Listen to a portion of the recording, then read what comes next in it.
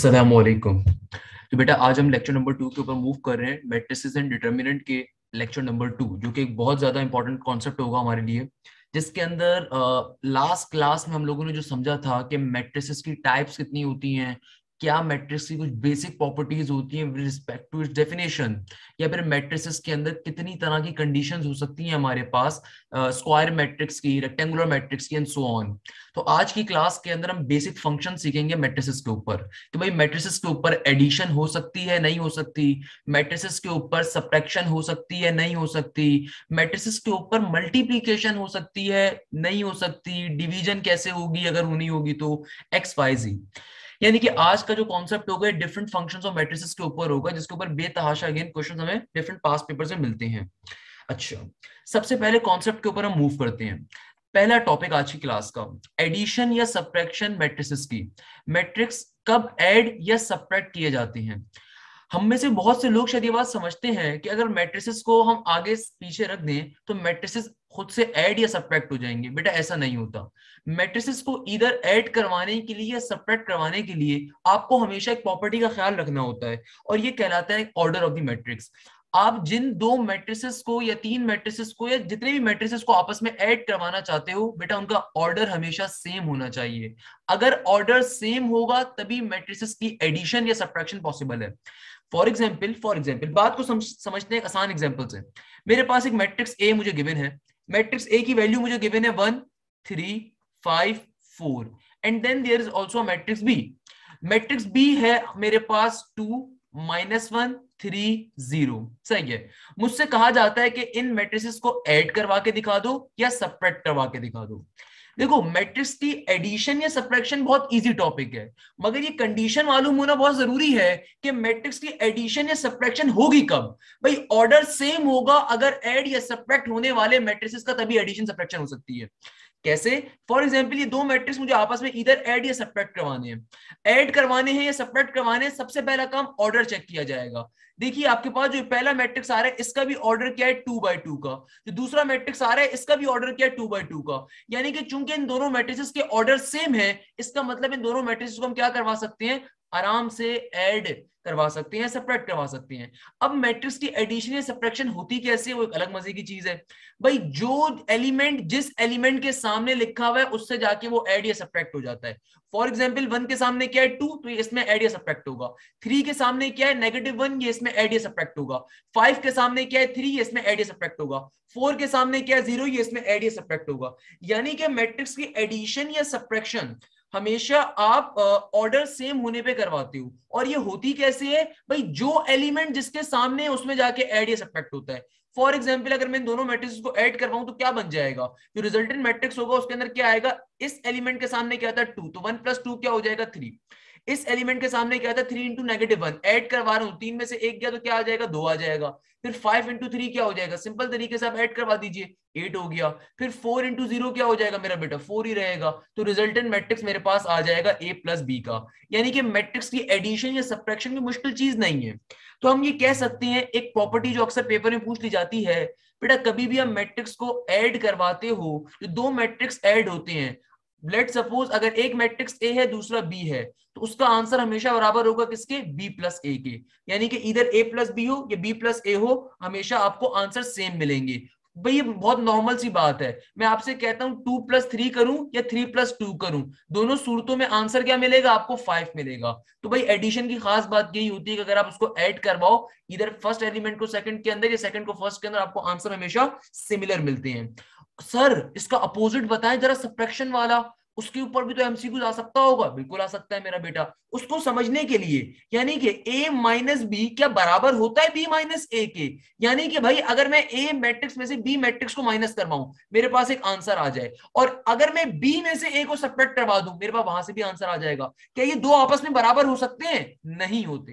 क्यों नहीं होते? इस क्यों का जवाब आपको मालूम है। कैसे? अगर मैं आपसे कहता हूँ, दो में से तीन निकालिए, और मैं आपसे कहता हूँ, तीन में से दो निकालिए, क्या इन दोनों की वैल्यू सेम आएँगी? कभी भी नहीं आएँगी। क्योंकि यहाँ पे छोटे में से बड़ा माइनस हो रहा है बड़े में छोटा माइनस हो रहा है। तो ऑब्वियसली वैल्यूज़ क्या होंगी डिफरेंट होगी तो कभी बराबर नहीं होती। सेम गोस फॉर ईयर मैं ए माइनस बी करूँ और b माइनस ए करूँ। आंसर सेम नहीं आएगा but a plus B is always equal to B plus A simple सी बात है। यानी कि मैं क्या कह सकता हूँ कि मैट्रिक्स की जो एडिशन होती है कम्यूटेटिव होती है। बल्कि और जो मैट्रिक्स की सप्रेक्शन होती है, ये कम्यूटेटिव नहीं होती। तो ये एमसीक्यूज पेपर में बहुत ज़्यादा आ जाता है टेक्निकल साइड के ऊपर तो आपको मालूम होना चाहिए। कम्यूटेटिव का मतलब ये होता है कि आप अपने एलिमेंट्स का ऑर्डर चेंज कर दो, या एलिमेंट्स का सीक्वेंस चेंज कर दो एडिशन का तो वो अगर आपको सिमिलर आंसर देगी तो कम्यूटेटिव है। सिमिलर आंसर नहीं देगी तो नॉन कम्यूटेटिव है। तो भाई, मैट्रिक्स की एडिशन कैसे होती है मेरा बेटा? इसको आप पॉइंट बना के लिख सकते हैं नोट्स अपने करेंगे। Matrix addition is commutative while the matrix subtraction is not commutative simple सी बात है। क्लियर है मेरा बच्चा यहाँ तक की बात? अच्छा भाई एक और चीज़। अब हमारे पास स्केलर uh, मल्टीप्लीकेशन का टॉपिक आता है। जब हमने मैट्रिक्स की एडिशन या सप्रेक्शन देख ली अब आप सोच रहे होंगे शायद मैं आपको मल्टीप्लीकेशन और मैट्रिक्स पढ़ाऊं। बेटा वो भी पढ़ाऊँगा। आहिस्ता आहिस्ता उस पर आऊँगा। पहले आते हैं स्केलर मल्टीप्लीकेशन के ऊपर। स्केलर मल्टीप्लीकेशन क्या होती है? यार देखो इसको समझाने का बड़ा मज़े का तरीका है। फॉर एग्ज़ाम्पल मैं आपके पास ब्रैकेट के अंदर एलिमेंट्स लिख दूँ। A plus B plus C और मैं बाहर एक सिंगल नंबर आपको दे दू मल्टीप्लाई करवाने के लिए। ये जो सिंगल नंबर है, पूरे ब्रैकेट से मल्टीप्लाई हो रहा होगा ना, भाई यही कॉन्सेप्ट स्केलर मल्टीप्लीकेशन का है। कि स्केलर मल्टीप्लीकेशन क्या होती है? कोई भी आपके मैट्रिक्स के बाहर अगर एलिमेंट मौजूद है, जिसको, जिससे आपको अपना मैट्रिक्स मल्टीप्लाई करवाना है तो स्केलर मल्टीप्लीकेशन कहती है। यानी कि multiply the number outside the matrix with all the elements present inside the matrix known as scalar multiplication कि भाई ऐसी मल्टीप्लीकेशन जिसके अंदर आप क्या करवा रहे हो? जो भी आपका बाहर नंबर मौजूद है, अंदर वाली तमाम चीज़ों से मल्टीप्लाई होगा। और देखो, मैं मैथ्स हमेशा इस कॉन्सेप्ट में पढ़ाता हूँ कि मेरी क्लास के अंदर हर बच्चे को बात क्लियर हो सके। मैंने इसकी एग्जांपल आपको क्या दी कि भाई ब्रैकेट में लिखते हो ना A plus B plus C plus D plus की एंड सो ऑन अगर मैं ब्रैकेट के बाहर नंबर लिख दूँ तो भाई वो ब्रैकेट के बाहर जो नंबर होगा, अंदर वाली तमाम नंबर से मल्टीप्लाई होगा ना। सेम कॉन्सेप्ट स्केलर मल्टीप्लीकेशन का है कि भैया मैं क्या करता हूँ? लेट सपोज़ मैं तुम्हारे सामने एक मैट्रिक्स लिख दू। टू थ्री ज़ीरो वन और इस मैट्रिक्स के बाहर मैंने एक एलिमेंट एक नंबर दे दिया। उस नंबर को के मैंने, हमने कह दिया। अब जो जो ये जर्नल टर्म बन गई, ये स्केलर मल्टीप्लीकेशन की बन गई। ज़ाहिर सी बात है, ये केस पूरे मैट्रिक्स से मल्टीप्लाई हो रहा है। तो जब मैं इस मैट्रिक्स को सॉल्व करवाऊँगा, ये के जाके हर इंडिविजुअल एलिमेंट से मल्टीप्लाई होगा। तो ये जो मल्टीप्लीकेशन कहलाएगी, ये स्केलर मल्टीप्लीकेशन कहलाती है। फॉर एग्ज़ाम्पल ये क्या बन जाएगा? ये क्या हो जाएगा हमारे पास? आंसर टू के प्लस का थ्री के, और यहाँ पे क्या हो जाएगा? ज़ीरो के ना? नहीं मेरा बच्चा। Anything multiply by zero is always equal to zero और वन इंटू के क्या हो जाएगा? सिंपल के हो जाएगा। तो भाई, कभी भी आपके पास कोई भी नंबर मैट्रिक्स के बाहर अगर पूरे मैट्रिक्स से मल्टीप्लाई हो रहा हो, उसके तमाम एलिमेंट से के क्या मल्टीप्लीकेशन कहलाती है? स्केलर मल्टीप्लीकेशन कहलाती है। बड़ी नॉर्मल सी बात है। बड़ी नॉर्मल सी बात है। अच्छा भाई, अब चलते हैं प्रॉपर मल्टीप्लीकेशन के ऊपर। भाई, ये तो हमने पढ़ ली scalar multiplication proper multiplication matrix की क्या है? One of the most famous method या one of the most famous topic जो कि हर तरह का एग्जामिनर आपको देगा। आप नस साइड पे अप्लाई कर लो, आप एनईडी साइड पे अप्लाई कर लो, आप आईबी साइड पे अप्लाई कर लो, आप जीआईकेआई फास्ट साइड पे अप्लाई कर दो। मल्टीप्लीकेशन ऑफ़ द मैट्रिक्स हर एग्जामिनर का फेवरेट है, क्योंकि बच्चा उसे पता यहीं पे फंसता है। अच्छा मल्टीप्लीकेशन ऑफ़ द मैट्रिक्स को समझने से पहले मैं आपको एक रूल पढ़ाना चाहूँगा। बेटा, बड़ा मज़े का रूल है, ये रूल आपको लाजमी मालूम होना चाहिए। आप किस सूरत के अंदर मैट्रिक्स को मल्टीप्लाई करवाते हो? बहुत दफ़ा एग्जामिनर एक गेम खेलता है। कितनी दफ़ा ये क्वेश्चन आपको पास पेपर में ऐसे दिखेंगे कि आपसे दो मैट्रिक्स को मल्टीप्लाई करवाने को दिया हुआ है और बच्चा जो है ना मल्टीप्लाई करवा के आंसर निकाल के बैठा हुआ है। जबकि शायद हो सकता था वहाँ पे आंसर नन ऑफ़ दीज आना था या नॉट पॉसिबल आना था। ऐसा क्यों हुआ? क्यों उसके पास कॉन्सेप्ट नहीं था? क्योंकि उसने रूल नहीं पढ़ा हुआ था। बेटा, जिस तरह मैट्रिक्स की एडिशन सब्ट्रैक्शन के लिए रूल है कि कभी भी आपको अगर दो या तीन या तीन से ज़्यादा जितने भी मैट्रिक्स को आपने एड या सब्ट्रैक्ट करवाना है तो तमाम इंडिविजुअल मैट्रिक्स का ऑर्डर सेम होना चाहिए। एडिशन सप्रेक्शन के लिए रूल क्या पड़ा कि भाई एडिशन या सप्रेक्शन करवानी है मैट्रिसेस की तो ऑर्डर सेम होना चाहिए। वैसी मल्टीप्लीकेशन के भी रूल है। कि दुनिया में कभी भी अगर दो मैट्रिक्स मल्टीप्लाई हो रहे हो, दुनिया में कभी भी अगर दो मैट्रिक्स मल्टीप्लाई हो रहे हो, पहले मैट्रिक्स के नंबर ऑफ़ कॉलम पहले मैट्रिक्स के नंबर ऑफ़ कॉलम्स बहुत गौर से बात सुनिएगा। पहले मैट्रिक्स के नंबर ऑफ़ कॉलम दूसरे मैट्रिक्स की नंबर ऑफ़ रॉस के बराबर होने चाहिए। अगर होंगे, तभी मल्टीप्लीकेशन पॉसिबल है, वरना आंसर नॉट पॉसिबल हो जाएगा मेरा बेटा। इसके ऊपर एमसीक्यूज बहुत घुमा घुमा के फेंके जाते हैं। क्या कहा दोबारा सुनिएगा? अगर कभी भी आपको नंबर दो मैट्रिक्स मल्टीप्लाई करवाने को दिए जाएँ, अगर नंबर ऑफ़ कॉलम्स पहले मैट्रिक्स के बराबर होंगे number of rows second matrix के। तभी आपका मैट्रिक्स की मल्टीप्लिकेशन पॉसिबल है। अच्छा आपने इंडिविजुअल मैट्रिक्स का नहीं सोचना। भाई, मैंने लास्ट लेक्चर में आपको मैट्रिक्स की जो बेसिक बातें बताई थी रॉस कॉलम वो मैट्रिक्स में एग्जिस्ट कर रही है। उसको आपने थोड़ी सोचना है। फॉर एग्ज़ाम्पल क्यों परेशान हो रहे हो मेरा बच्चा? अभी सिखाता हूँ। फॉर एग्ज़ाम्पल मेरे पास आता है वन टू सही है? और यहाँ पे मेरे पास आ गया सिंपल लेट सपोज़ थ्री इसको देखिएगा। मुझसे कहा जाता है इन दोनों मैट्रिक्स को जरा मल्टीप्लाई करके दिखाओ।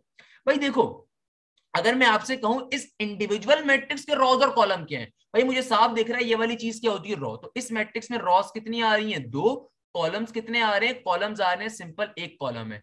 इस मैट्रिक्स के अंदर एक ही रॉ है, एक ही कॉलम है। तो भाई कितनी रॉज है? एक ही रॉ है और एक ही कॉलम है। हमने ये इंडिविजुअल वाली बात नहीं देखनी। हमने इस कंडीशन को देखना है। अगर ये दो मैट्रिक्स मल्टीप्लाई हो रहे हैं तो इस कंडीशन को पूरा करना चाहिए। कंडीशन क्या है कि भैया, पहले मैट्रिक्स की नंबर ऑफ़ कॉलम पहले मैट्रिक्स की। तो इस पर्टिकुलर मैट्रिक्स में कितने नंबर ऑफ़ कॉलम्स आ रहे हैं? इत्तेफाक से एक ही है। सही है? और दूसरे मैट्रिक्स की नंबर ऑफ़ रॉज दूसरे मैट्रिक्स की नंबर ऑफ़ रॉज तो भाई, इस मैट्रिक्स में कितनी नंबर ऑफ़ रॉज है? एक ही है। तो बेटा, चूँकि इन दोनों का ऑर्डर सेम है number of columns of the first matrix is equal to number of rows second matrix तो इसका मतलब इन दो मैट्रिक्स की मल्टीप्लीकेशन पॉसिबल है।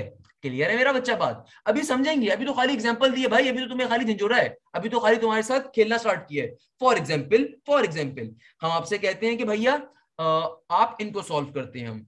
कि भाई, मैं आपसे कहता हूँ let suppose two three four one, सही है? और यहाँ पे मैं आपको दे दू वन, टू, थ्री। ये दो मैट्रिक्स आपस में मल्टीप्लाई करने को दे देता हूँ। अब देखिए इस मैट्रिक्स के अंदर क्या फनकारी है। जल्दी से सोचिए कि भाई, अगर ये दो मैट्रिक्स मल्टीप्लाई हो रही है तो इसको कंडीशन पूरी करनी चाहिए।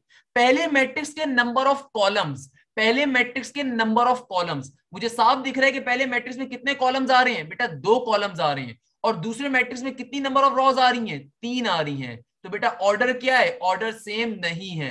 ऑर्डर सेम नहीं है तो आंसर क्या हो जाएगा? नॉट पॉसिबल हो जाएगा। आंसर क्या हो जाएगा? नॉट पॉसिबल हो जाएगा। अच्छा। अब जरा एक बात सीखते हैं। आइए आपको टेक्निकल कुछ बातें सिखाता हूँ जो हो सकते हैं आपके साथ जो एग्ज़ाम दे रहा है उसको नहीं मालूम हो। क्योंकि नॉर्मली टीचर्स क्वेश्चन के ऊपर पहले जाते हैं और ये बेसिक बातें नहीं सिखाते। भाई देखो मैं तुमसे कहता हूँ मैं तुमसे कहता हूँ। क्या कहते हैं सर आप? फॉर एग्ज़ाम्पल मेरे पास एक ए मैट्रिक्स है। मेरे पास एक मैट्रिक्स ए है, इसका ऑर्डर आ रहा है क्या? टू बाई थ्री का। मेरे पास एक ए मैट्रिक्स है, इसका ऑर्डर क्या है? टू बाई थ्री का। मेरे पास बी मैट्रिक्स है, इसका ऑर्डर है थ्री बाई टू का। मेरे पास ए मैट्रिक्स है, इसका ऑर्डर क्या है? टू बाई थ्री का। बी मैट्रिक्स है, इसका ऑर्डर क्या है? थ्री बाई टू का। अच्छा।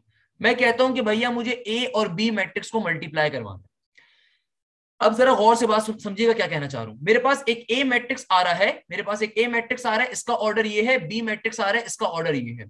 भाई देखो, पहले तो इंडिविजुअल मैट्रिक्स को क्लियर कर लो। पहली वाली चीज़ क्या होती है रॉ दूसरी वाली चीज़ क्या होती है कॉलम पहली वाली चीज़ क्या होती है रॉ दूसरी चीज़ क्या होती है कॉलम अब देखो बात। अब मुझे क्या करना है, अगर ए और बी मैट्रिक्स को आपस में क्या करवाना है मल्टीप्लाई कैसे मल्टीप्लाई करवाते हैं? मेरा बेटा मल्टीप्लाई करने की कंडीशन क्या होती है? पहले मैट्रिक्स के कॉलम दूसरे मैट्रिक्स की रॉस के बराबर होने चाहिए। पहले मैट्रिक्स के कॉलम दूसरे मैट्रिक्स की रॉस के, जो कि मुझे साफ़ दिख रहा है, यहाँ पे मौजूद यहाँ पे मौजूद हैं। इसका मतलब क्या है? इसका मतलब मल्टीप्लीकेशन पॉसिबल है। इसका मतलब मल्टीप्लीकेशन पॉसिबल है? इट्स क्वाइट ऑब्वियस और अगर सिंपल ऑर्डर गिवन है तो इसको चले मैं ऐसे करके शो करवा देता हूँ। यानी कि two multiply by three basically three multiply by two के बराबर है। यानी कि इन दोनों मैट्रिक्स की मल्टीप्लीकेशन करनी है। तो पहले मैट्रिक्स का ऑर्डर क्या है? टू बाई थ्री का और दूसरे मैट्रिक्स का पर्टिकुलर हमारे पास ऑर्डर क्या है? थ्री बाई टू का। पहले का क्या आ रहा है? टू बाई थ्री का, दूसरे का थ्री बाई टू का। अच्छा। अब मैं आपसे कहता हूँ, अगर मैं इसका उलट काम आपको दे दूँ मैं आपसे कहूँ बी इंटू ए के मल्टीप्लीकेशन सोचो। बी इंटू ए की। अभी जो हम लोगों ने काम देखा है, वो ए इंटू बी की मल्टीप्लीकेशन देखी है। अब अगर मैं आपसे कहूँ कि जरा मुझे बताओ, जरा मेरा बच्चा मुझे बताओ बी इंटू ए की मल्टीप्लीकेशन क्या होनी चाहिए? अब तमाम के तमाम लोग बोलेंगे, सर चेक कर लेते हैं, इसमें क्या मसले की बात है? जब बी इंटू ए की मल्टीप्लीकेशन देख रहा हूँ तो भैया, अब ये बी बी मेरा पहला मैट्रिक्स है। अब बी मेरा पहला मैट्रिक्स है और ए मेरा दूसरा मैट्रिक्स बन जाएगा। तो भैया बी मेरा पहला मैट्रिक्स है, इसका ऑर्डर क्या है थ्री बाई टू और ए का ऑर्डर क्या है टू बाई थ्री तो गौर से देखिए, क्या number of column number of rows के बराबर आ रहे हैं? बिल्कुल आ रहे हैं। भाई मैट्रिक्स की मल्टीप्लाई करने की कंडीशन क्या है? पहले मैट्रिक्स के नंबर ऑफ़ कॉलम्स जो कि ये रहे, दूसरे मैट्रिक्स के नंबर ऑफ़ रॉस के बराबर आने चाहिए, जो कि यहाँ पे पॉसिबल है। यानी कि सिंपल तरीके से क्या हो रहा है? Three multiply by two into equal to two by three यानी कि दो मैट्रिक्स हम मल्टीप्लाई करवा रहे हैं, दोनों के ऑर्डर क्या सेम है। अच्छा मगर अगर मैं यहाँ पे मज़े की चीज़ देखूँ, अगर मैं यहाँ पे मज़े की चीज़ देखूँ कभी भी आपको अगर मैट्रिक्स के ऑर्डर दिए जाएँ और आपको मैट्रिक्स मल्टीप्लाई करवा के उनके आंसर्स निकाल लो order based answer order based answer तो भाई देखो उसको कैसे करते हैं मैं वो समझाने के ऊपर आ रहा हूँ। फॉर एग्ज़ाम्पल मुझसे कहा जा रहा था यहाँ पे ए इंटू बी एक मैट्रिक्स है तो हमने सिंपल तरीके से ए का ऑर्डर लिख दिया बी का ऑर्डर लिख दिया। भाई ये वाली चीज़ क्या होती है रॉ ये चीज़ क्या कॉलम ये चीज़ क्या रॉ ये चीज़ क्या कॉलम ये वाली बात तो खाली कंडीशन को प्रूफ कर रही है, क्योंकि पहले मैट्रिक्स के कॉलम दूसरे मैट्रिक्स की रॉस के बराबर होने चाहिए। इसका मतलब क्या है? हमारा मैट्रिक्स की मल्टीप्लीकेशन पॉसिबल है। और अगर मैं लास्ट दोनों के डिजिट्स को मल्टीप्लाई करवाऊं तो यहाँ से आंसर क्या आ जाएगा? टू इंटू टू फोर आ जाएगा। अब दूसरे मैट्रिक्स को देखिए बी इंटू ए मैट्रिक्स को अगर मल्टीप्लाई करवाना है तो बेटा देखिए, यहाँ पे भी रॉ कॉलम और रॉज आपस में सिमिलर हैं। इसका मतलब मल्टीप्लीकेशन पॉसिबल है। और अगर आप एंड वैल्यूज़ को देखें, दोनों की एंड वैल्यूज़ को देखें, यानी कि रॉज इंटू कॉलम्स को तो यहाँ पे वो क्या बन जाएगा? थ्री थ्री जार नाइन बन जाएगा। यानी कि दोनों से हमें आंसर सेम नहीं मिला। दोनों से हमें आंसर सेम नहीं मिला। इसका मतलब आप जानते हैं क्या है? मैंने शॉर्ट ट्रिक के ऊपर पढ़ाई है बात, आपको अभी क्वेश्चन में आगे चलते हैं समझेंगे भी डिटेल के अंदर कि भाई इसका मतलब क्या है? मैट्रिक्स मल्टीप्लीकेशन जो होती है बेटा कम्यूटेटिव नहीं होती। मैट्रिक्स मल्टीप्लीकेशन कम्यूटेटिव नहीं होती। यानी कि अगर आपने सीक्वेंस ऑफ़ ऑर्डर चेंज कर दिया तो आपका आंसर चेंज आ जाएगा। मैट्रिक्स मल्टीप्लीकेशन कभी भी कम्यूटेटिव नहीं होती। ये बड़ी मशहूर ब्लैंक है बेटा। यानी कि मैं कह सकता हूँ कि ए बी के जो मल्टी प्रोडक्ट की वैल्यू होगी, वो बी इंटू ए के प्रोडक्ट की वैल्यू के बराबर कभी भी नहीं हो सकती है। फॉर एग्ज़ाम्पल मेरे पास एक मैट्रिक्स है। मेरे पास एक मैट्रिक्स है वन टू थ्री फोर दूसरा मैट्रिक्स आ रहा है मेरे पास। Three one two four. ये मैट्रिक्स ए है ये मैट्रिक्स बी है। अगर आप एक दफ़ा ए इंटू बी को मल्टीप्लाई करवाएँ और फिर एक दफ़ा बी इंटू ए को मल्टीप्लाई करवाएँ ये दोनों आपस में सिमिलर नहीं आएँगे। क्योंकि मैट्रिक्स की मल्टीप्लीकेशन क्या होती है? कम्यूटेटिव नहीं होती। तो यहाँ पे जो ब्लैंक्स आपको आ, सिखाने का मेन मकसद है वो ये था। क्लियर है मेरा बेटा? ये बात क्लियर होती है? कोई मसले की बात यहाँ पे? जल्दी से बताएँ।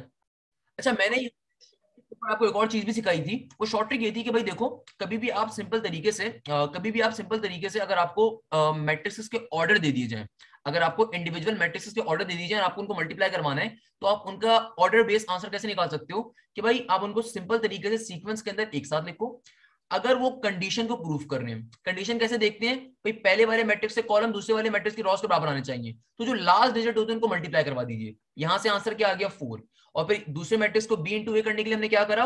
अगेन सेम सीक्वेंस में लिखा। सीक्वेंस में लिखने के बाद आ, हमने कंडीशन चेक करी। कॉलम और रॉस बराबर आ रहे हैं। लास्ट वाले डिजिट्स को मल्टीप्लाई करवा दिया। वैल्यू नाइन आ गई। यानी कि ए इंटू बी के प्रोडक्ट की वैल्यू यहाँ से क्या आ रही है? फोर बी इंटू ए की प्रोडक्ट की वैल्यू क्या आ रही है? नाइन ये बेसिकली ऑर्डर बेस्ड प्रोडक्शन भी कहलाती है या ऑर्डर बेस्ड प्रोडक्ट भी कहला रहा होता है। अच्छा मैंने लास्ट बात ये करी कि अगर आप इन दोनों वैल्यूज़ को देखो, आपके पास a इंटू बी के ऑर्डर प्रोडक्ट की वैल्यू क्या आई? फोर जबकि बी इंटू ए के ऑर्डर प्रोडक्ट की वैल्यू क्या आई? नाइन दोनों वैल्यू सेम नहीं आई। हालाँकि हालाँकि जब हम मैथ्स के अंदर अपने हाथ से सॉल्व करो two multiply by three answer आएगा सिक्स और जब थ्री मल्टीप्लाई बाय टू करो तो आंसर आएगा सिक्स क्योंकि नॉर्मल नंबर्स की जो मल्टीप्लीकेशन होती है कम्यूटेटिव होती है. कम्यूटेटिव का मतलब कि भाई तुम पहले नंबर को पहले लिखो या दूसरे नंबर को बाद में लिखो. या पहले नंबर को पहले लिख लो और या दूसरी दफ़ा में पहले नंबर को बाद में लिख लो. यानी कि टू इंटू थ्री करो थ्री इंटू टू करो वैल्यू क्या आएगी? सिक्स आएगी ना भाई? तुम्हारे सिंपल नंबर की मल्टीप्लीकेशन में आंसर सेम आता है जब तुम ऑर्डर चेंज भी करते हो. जब यहाँ पे हमने ऑर्डर चेंज करा तो आंसर क्या आया? सेम नहीं आया. तो ब्लैंक जो पेपर में अक्सर पूछी जाती है, ये पूछी जाती है कि भैया दो मैट्रिक्स की मल्टीप्लीकेशन आपके कम्यूटेटिव है या नहीं है ऑलवेज रिमेंबर दिस थिंग नहीं होती बेटा। अच्छा मेरा बेटा सिंपल तरीके से एक क्वेश्चन के ऊपर मूव करते हैं। अभी हमने मैट्रिक्स की मल्टीप्लीकेशन समझी, शायद नहीं समझी। देखते हैं क्या समझी, क्या नहीं समझी। आइए क्वेश्चन को। ये क्वेश्चन पीटीबी की किताबों में भी आपको मिलेगा सिंध टेक्स्ट बुक बोर्ड की किताबों में मिलेगा। और ये एग्जैक्ट क्वेश्चन आपको कई यूनिवर्सिटीज के पेपर में मिलेगा कई मशहूर जमाना आपको किताबों के पास पेपर्स में मिल रहा होगा। सिंपल सा क्वेश्चन है, मासूम सा दिखने के अंदर। मगर ये क्वेश्चन आपके जहनों में आने वाले कई पर्टिकुलर कॉन्सेप्ट को क्लियर कर देगा। मैं आंसर्स का रिप्लाई करता हूँ, बेटा जो आप पूछ रहे हैं। पहली चीज़, देखो, इस क्वेश्चन में क्या कहा जा रहा है? इस क्वेश्चन में आपसे कहा जा रहा है एक्स मैट्रिक्स की वैल्यू बताइए, जो यहाँ पे मौजूद है। कैसे फाइंड करेंगे? मुझसे कहा जाता है कि भैया ये जो एक्स मैट्रिक्स है ना, इसकी वैल्यू को बताना है। अब मुझे अभी तो इसकी वैल्यू नहीं पता क्या है। तो मैं सपोज़ कर लेता हूँ कि भाई चूँकि मेरे पास ये पर्टिकुलर चूँकि मेरे पास ये पूरा का पूरा मैट्रिक्स क्या है टू बाई टू के आ रहे हैं तमाम के तमाम मैट्रिक्स किसके आ रहे हैं टू बाई टू ऑर्डर के तो हम एक्स मैट्रिक्स को भी टू बाई टू का सपोज़ कर लेते हैं। तो ये क्या बन जाएगा? ये हो गया two negative three zero negative one और इस एक्स मैट्रिक्स को भी हमने क्या सपोज़ कर ली इसकी वैल्यू फाइंड करनी है। इसकी वैल्यू भी हमें फाइंड करनी है। इतना मुश्किल क्वेश्चन आएगा नहीं। दस साइड पे पूछा जा चुका है, इसलिए मैंने आपको मुश्किल क्वेश्चन करवा रहा हूँ कि आपको समझ में आए। मल्टीप्लीकेशन होती कैसे और डिफरेंट कॉन्सेप्ट ऑफ़ मैट्रिक्स अब देखो, हमें मैट्रिक्स एक्स की वैल्यू को फाइंड करना है अगर अगर मैट्रिक्स एक्स की वैल्यू को तो भाई मैट्रिक्स एक्स का कोई ना कोई ऑर्डर होगा ना। चूँकि क्वेश्चन में तमाम मैट्रिक्स का ऑर्डर मुझे साफ़ दिख रहा है टू बाई टू का तो मैं मैट्रिक्स एक्स भी टू बाई टू का अब ज़ाहिर सी बात है, इधर भी कोई वैल्यू होगी, इधर भी कोई होगी, इधर भी कोई होगी, इधर भी कोई होगी। अब हमें वैल्यूज़ तो पता नहीं है तो हमने अपनी मर्ज़ी से ए बी सी और डी सपोज़ कर लिया। अपनी मर्ज़ी से सपोजिशन करी है हम लोगों ने, ताकि हम मैट्रिक्स एक्स की वैल्यू को फाइंड कर सकें। और यहाँ पे क्या है माइनस टू फाइव एट और नेगेटिव सेवन अब देखिए, अगर मैं इसको फर्दर सिंप्लीफाई करवाना चाहता हूँ सबसे पहला काम मुझे इन दोनों मैट्रिक्स जो यहाँ पे मल्टीप्लाई हो रहे हैं, इनको मल्टीप्लाई करना पड़ेगा। तो यहाँ से आज की क्लास में मैट्रिक्स मल्टीप्लीकेशन भी सीख लेते हैं कि मैट्रिक्स मल्टीप्लाई कैसे होते हैं। बेटा मैट्रिक्स को मल्टीप्लाई करने का तरीका बहुत ही मज़े का, बहुत ही आसान सा। पहले वाले मैट्रिक्स के ऊपर ऐसे करके लाइने खींचो, दूसरे वाले मैट्रिक्स के ऊपर ऐसे करके लाइने खींच लो, अगर अभी भी मसला क्रिएट रखते हो करने के अंदर। मेरी एक बात आपने गौर से सुननी है, वो बात क्या है? वो बात मिलियन डॉलर्स की है। पहले पूरे मैट्रिक्स को पहले इस कॉलम से मल्टीप्लाई करवाओ, फिर पूरे मैट्रिक्स को अगले कॉलम से मल्टीप्लाई करवाओ। ज़िंदगी आसान हो जाएगी। फॉर एग्ज़ाम्पल अच्छा ये जो लाइनें खींची लाइनों का फ़ायदा क्या होता है कि ये लाइनें कहलाती हैं head to tail multiplication method of a matrix multiplication यहाँ पे आप टेल से टेल से को मल्टीप्लाई करवाते हो हेड से हेड को मल्टीप्लाई करवाते हो। अगर थ्री बाई थ्री का होगा तो जो बीच वाली चीज़ होती है, उससे बीच वाली चीज़ को मल्टीप्लाई करवाते हो। बिल्कुल परेशान नहीं होना भी समझते क्या कह रहा हूँ। फॉर एग्ज़ाम्पल टेल पे क्या आ रहा है? माइनस टू इस टेल पे क्या है? ए क्या सॉरी टू इंटू ए तो क्या बन जाएगा? टू ए और यहाँ पे क्या आ रहा है? देखो हेड पे क्या है? माइनस थ्री इसके हेड पे क्या है? सी तो क्या बन जाएगा सिंपल माइनस का थ्री सी क्या बन जाएगा? माइनस का थ्री सी ओके अब मैंने क्या कहा? इस पूरे कॉलम से पूरा मैट्रिक्स मल्टीप्लाई होगा। पूरे मैट्रिक्स से पूरा कॉलम पूरा कॉलम से पूरा मैट्रिक्स मल्टीप्लाई होगा। अब देखो, दूसरे एरो के ऊपर, यहाँ पे क्या आ रहा है? ज़ीरो यहाँ पे क्या आ रहा है मेरा बेटा? ज़ीरो ये ज़ीरो जाके इस ए से मल्टीप्लाई होगा तो क्या बन जाएगा? सिंपल ज़ीरो आ जाएगा। फिर ये माइनस का वन जाके जब सी से मल्टीप्लाई होगा तो क्या आ जाएगा? सिंपली माइनस का सी आ जाएगा। माइनस का वन जाके जब सी से मल्टीप्लाई होगा तो क्या आ जाएगा? सिंपली माइनस का सी आ जाएगा। वेरी गुड अब जब हमने पूरा ये पहला मैट्रिक्स पहले कॉलम से मल्टीप्लाई करवा दिया, अब दूसरे कॉलम पे मूव करना है। बहुत से बच्चे मैट्रिक्स की मल्टीप्लीकेशन में शदीद मसले, मसाइल का शिकार होती हैं। बेटा, बहुत आसान तरीके से मेथड सिखा रहा हूँ कि आपने कुछ भी नहीं करना कभी भी दो मैट्रिक्स को मल्टीप्लाई करवा रहे हो। जो भी पहला मैट्रिक्स उसको पहले पूरे कॉलम से मल्टीप्लाई करवाओ और उसको कॉलम वाइज अरेंज करो वैल्यूज़ को। और फिर जब वो कॉलम से मल्टीप्लाई करवा दो फिर पूरे मैट्रिक्स को दूसरे कॉलम से मल्टीप्लाई करवाओ। क्या बन जाएगा? टू इंटू बी क्या हो जाएगा? टू बी माइनस का थ्री इंटू डी क्या हो जाएगा? माइनस का three D zero into B क्या हो जाएगा? ज़ीरो माइनस का वन इंटू डी क्या हो जाएगा? माइनस का डी आपने मल्टीप्लाई करवा दिया। अगर तो ये फर्दर थोड़े सिंप्लीफाई हो सके तो सिंप्लीफाई कर दीजिए, वरना क्योंकि मुझे साफ़ दिख रहा है वेरिएबल की फॉर्म में डेटा सिंप्लीफाई नहीं हो सकता। तो एज इट इज़ उतार देते हैं इस तरफ़ वाले मैट्रिक्स को। इधर क्या है? माइनस टू इधर क्या है? फाइव इधर क्या है? एट इधर क्या है? नेगेटिव सेवन अब मेरी बात बड़े गौर से सुनिएगा। बिलियन डॉलर्स की बात है बिलियन डॉलर्स की। यहाँ पे मैं मैट्रिक्स आपको एक दूसरा कॉन्सेप्ट भी सिखाने वाला हूँ। पहली बात क्या सिखाई? इस क्वेश्चन के अंदर के मैट्रिक्स मल्टीप्लाई कैसे होते हैं, वो बात सिखा दी। दूसरी बात, इस तरह के क्वेश्चंस पेपर में बहुत आते हैं। अब जो मैंने आपके सामने, ये आपके सामने एक्सप्रेशन बन रही है ना, इस तरह के क्वेश्चन आपको पेपर्स में बहुत दिखेंगे। बेटा, कभी भी इक्वल टू के आमने सामने दो मैट्रिक्स आ जाए। कभी भी इक्वल टू के आमने सामने अगर दो मैट्रिक्स आ जाए always remember this thing matrix की प्रॉपर्टी अप्लाई होती है। मैट्रिक्स की ये बेसिक प्रॉपर्टी है कभी भी इक्वल टू के आमने सामने अगर दो मैट्रिक्स आ जाए और वो फर्दर सॉल्व ना हो सकते हो तो जो रेलिवेंट साइड्स होती हैं, या जो रिस्पेक्टिव एलिमेंट्स होते हैं, या जो एक दूसरे के आमने सामने वाले एलिमेंट्स होते हैं, या जो एडजस्टेंट एलिमेंट्स होते हैं, वो एक दूसरे के बराबर सपोज़ कर लिए जाते हैं। ये प्रॉपर्टी ऑफ़ मैट्रिक्स होती है कि भैया मेरे सामने मुझे साफ़ दिख रहा है two A minus three C के सामने क्या चीज़ है? माइनस टू मेरे पास एक वैल्यू आ गई, एक इक्वेशन आ गई two A minus three C बराबर है किसके माइनस टू के। दूसरी चीज़ two B minus three D के सामने क्या है? फाइव मेरे पास दूसरी चीज़ क्या आ गई? Two B minus three D के सामने क्या है? फाइव तीसरे नंबर के ऊपर ज़ीरो माइनस का सी के सामने क्या आ रहा है? एट यानी कि माइनस सी की वैल्यू क्या आ गई? एट माइनस डी की वैल्यू क्या आ जाएगी? सिंपली माइनस डी के सामने क्या है? माइनस का सेवन तो माइनस डी की वैल्यू क्या आ जाएगी? माइनस का सेवन माइनस से माइनस कैंसिल आउट अब सिंपल तरीके से क्या करोगे? मुझे इक्वेशन वन बन गई, ये इक्वेशन टू बन गई, ये इक्वेशन थ्री बन गई, ये इक्वेशन फोर बन गई. सिंपल तरीके से इक्वेशन थ्री और इक्वेशन फोर में सी और डी की वैल्यूज़ गिवन है उनको उठा के इक्वेशन वन और टू में डालूँगा तो मेरे पास सिंपल तरीके से ए और बी की वैल्यूज़ भी आ जाएँगी. इक्वेशन थ्री के अंदर आपको डायरेक्टली सी की वैल्यू गिवन है ना? क्या आ गई? सी की वैल्यू इक्वेशन थ्री से नेगेटिव एट इसको उठा के इक्वेशन वन में पुट करवा देता हूँ। क्या बन जाएगा? टू ए का, टू ए नेगेटिव का थ्री सी की वैल्यू क्या है? नेगेटिव एट इक्वल टू के बाद क्या negative two three into eight twenty four minus minus plus का क्या बन जाएगा? प्लस का ट्वेंटी फोर इक्वल टू के बाद माइनस टू प्लस के ट्वेंटी फोर को वहाँ से एंड करवाएँगे। क्या बन जाएगा? ट्वेंटी सिक्स क्या हो जाएगा मेरा बच्चा? सिंपल तरीके से। क्या हो जाएगा भाई? सिंपल तरीके से वहाँ भेज दीजिए। तो क्या हो गया हमारे पास? माइनस ट्वेंटी फोर माइनस का टू हमारे पास सिंपल तरीके से it will be minus twenty six तो भैया माइनस टू के टेबल में ट्वेंटी सिक्स कहाँ पर आता है?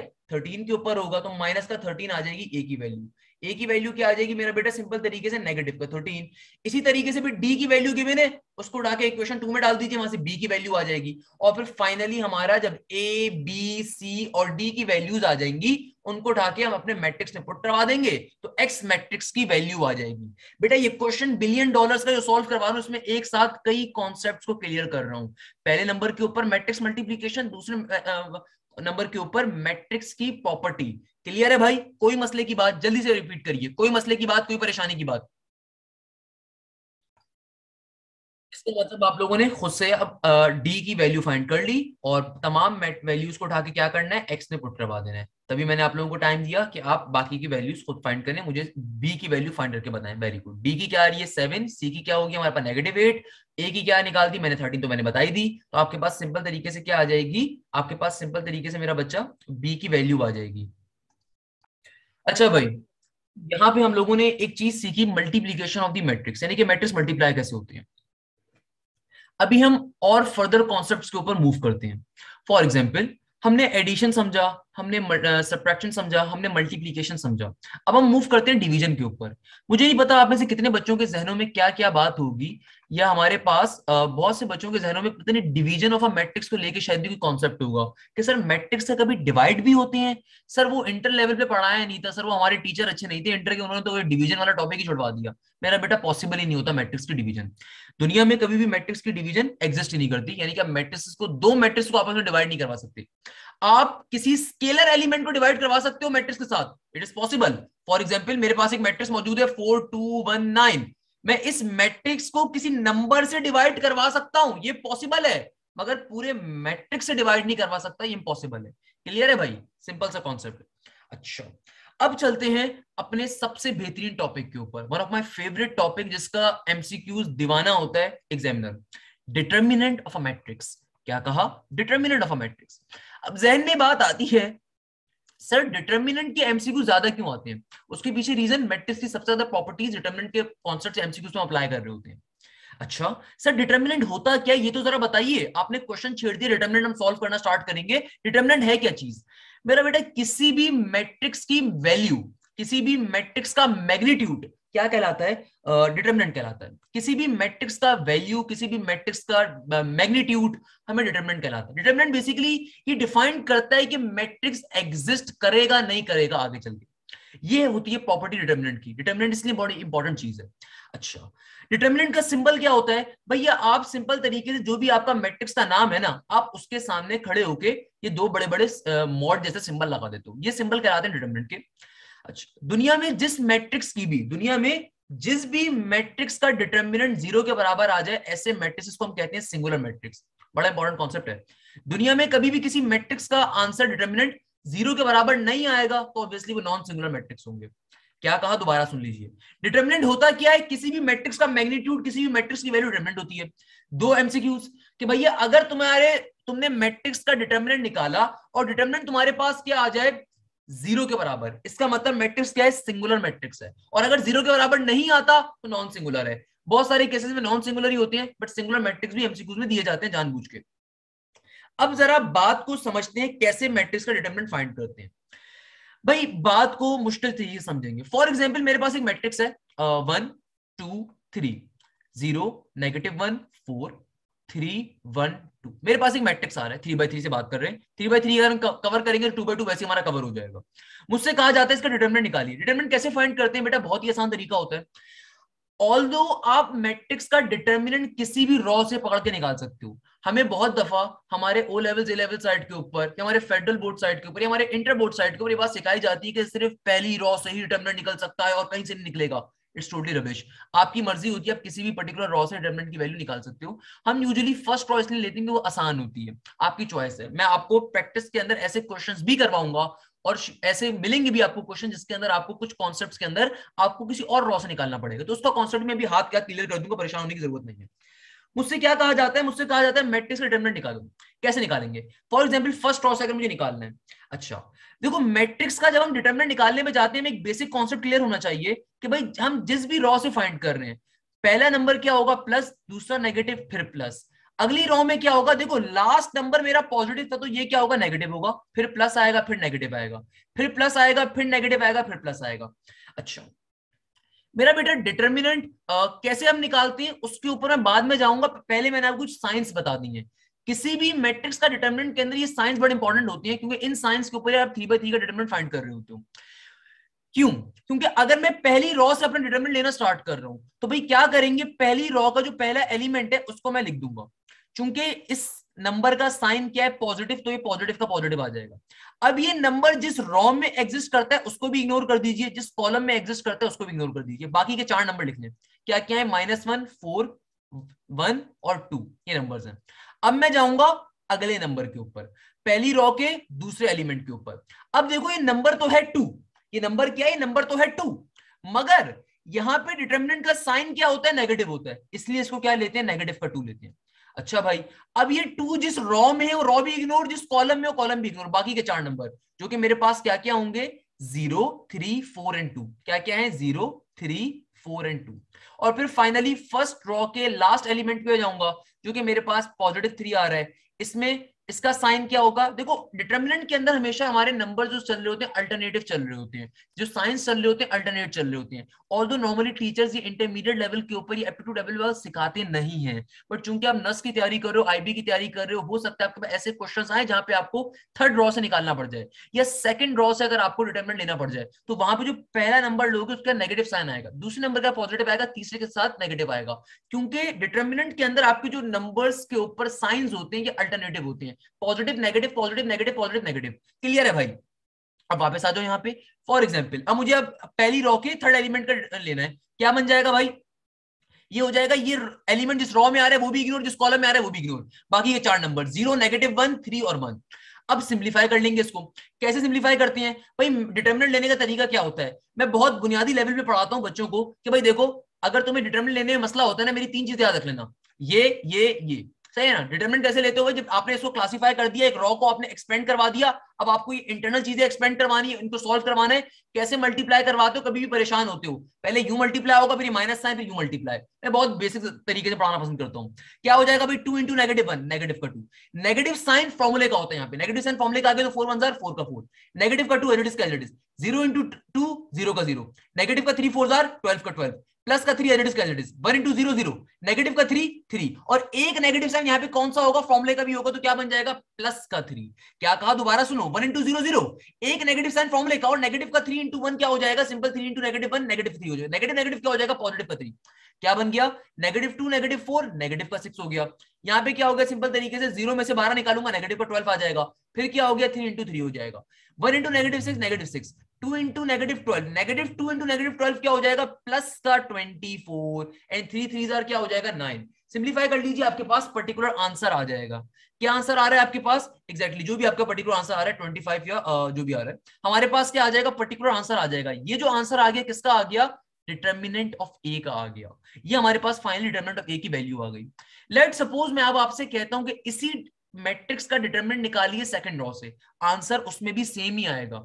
ऑलवेज रिमेंबर दिस थिंग आप मैट्रिक्स का डिटर्मिनेंट किसी भी रॉ से ओपन करें। आपके पास आंसर हमेशा डिटर्मिनेंट का सेम आना चाहिए।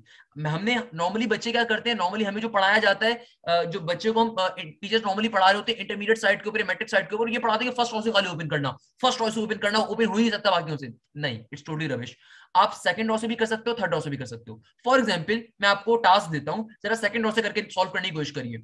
हाँ साइंस का ख्याल रखिएगा, क्योंकि पॉजिटिव नेगेटिव पॉजिटिव तो यहाँ पे नंबर पे क्या आएगा? नेगेटिव फिर पॉजिटिव फिर नेगेटिव तो जरा कोशिश करिए, तमाम के तमाम स्टूडेंट्स क्या आ रहे हैं जल्दी से? शाबाश, जल्दी से। हाँ तो भाई, क्या कहा है आपसे? सिंपल तरीके से।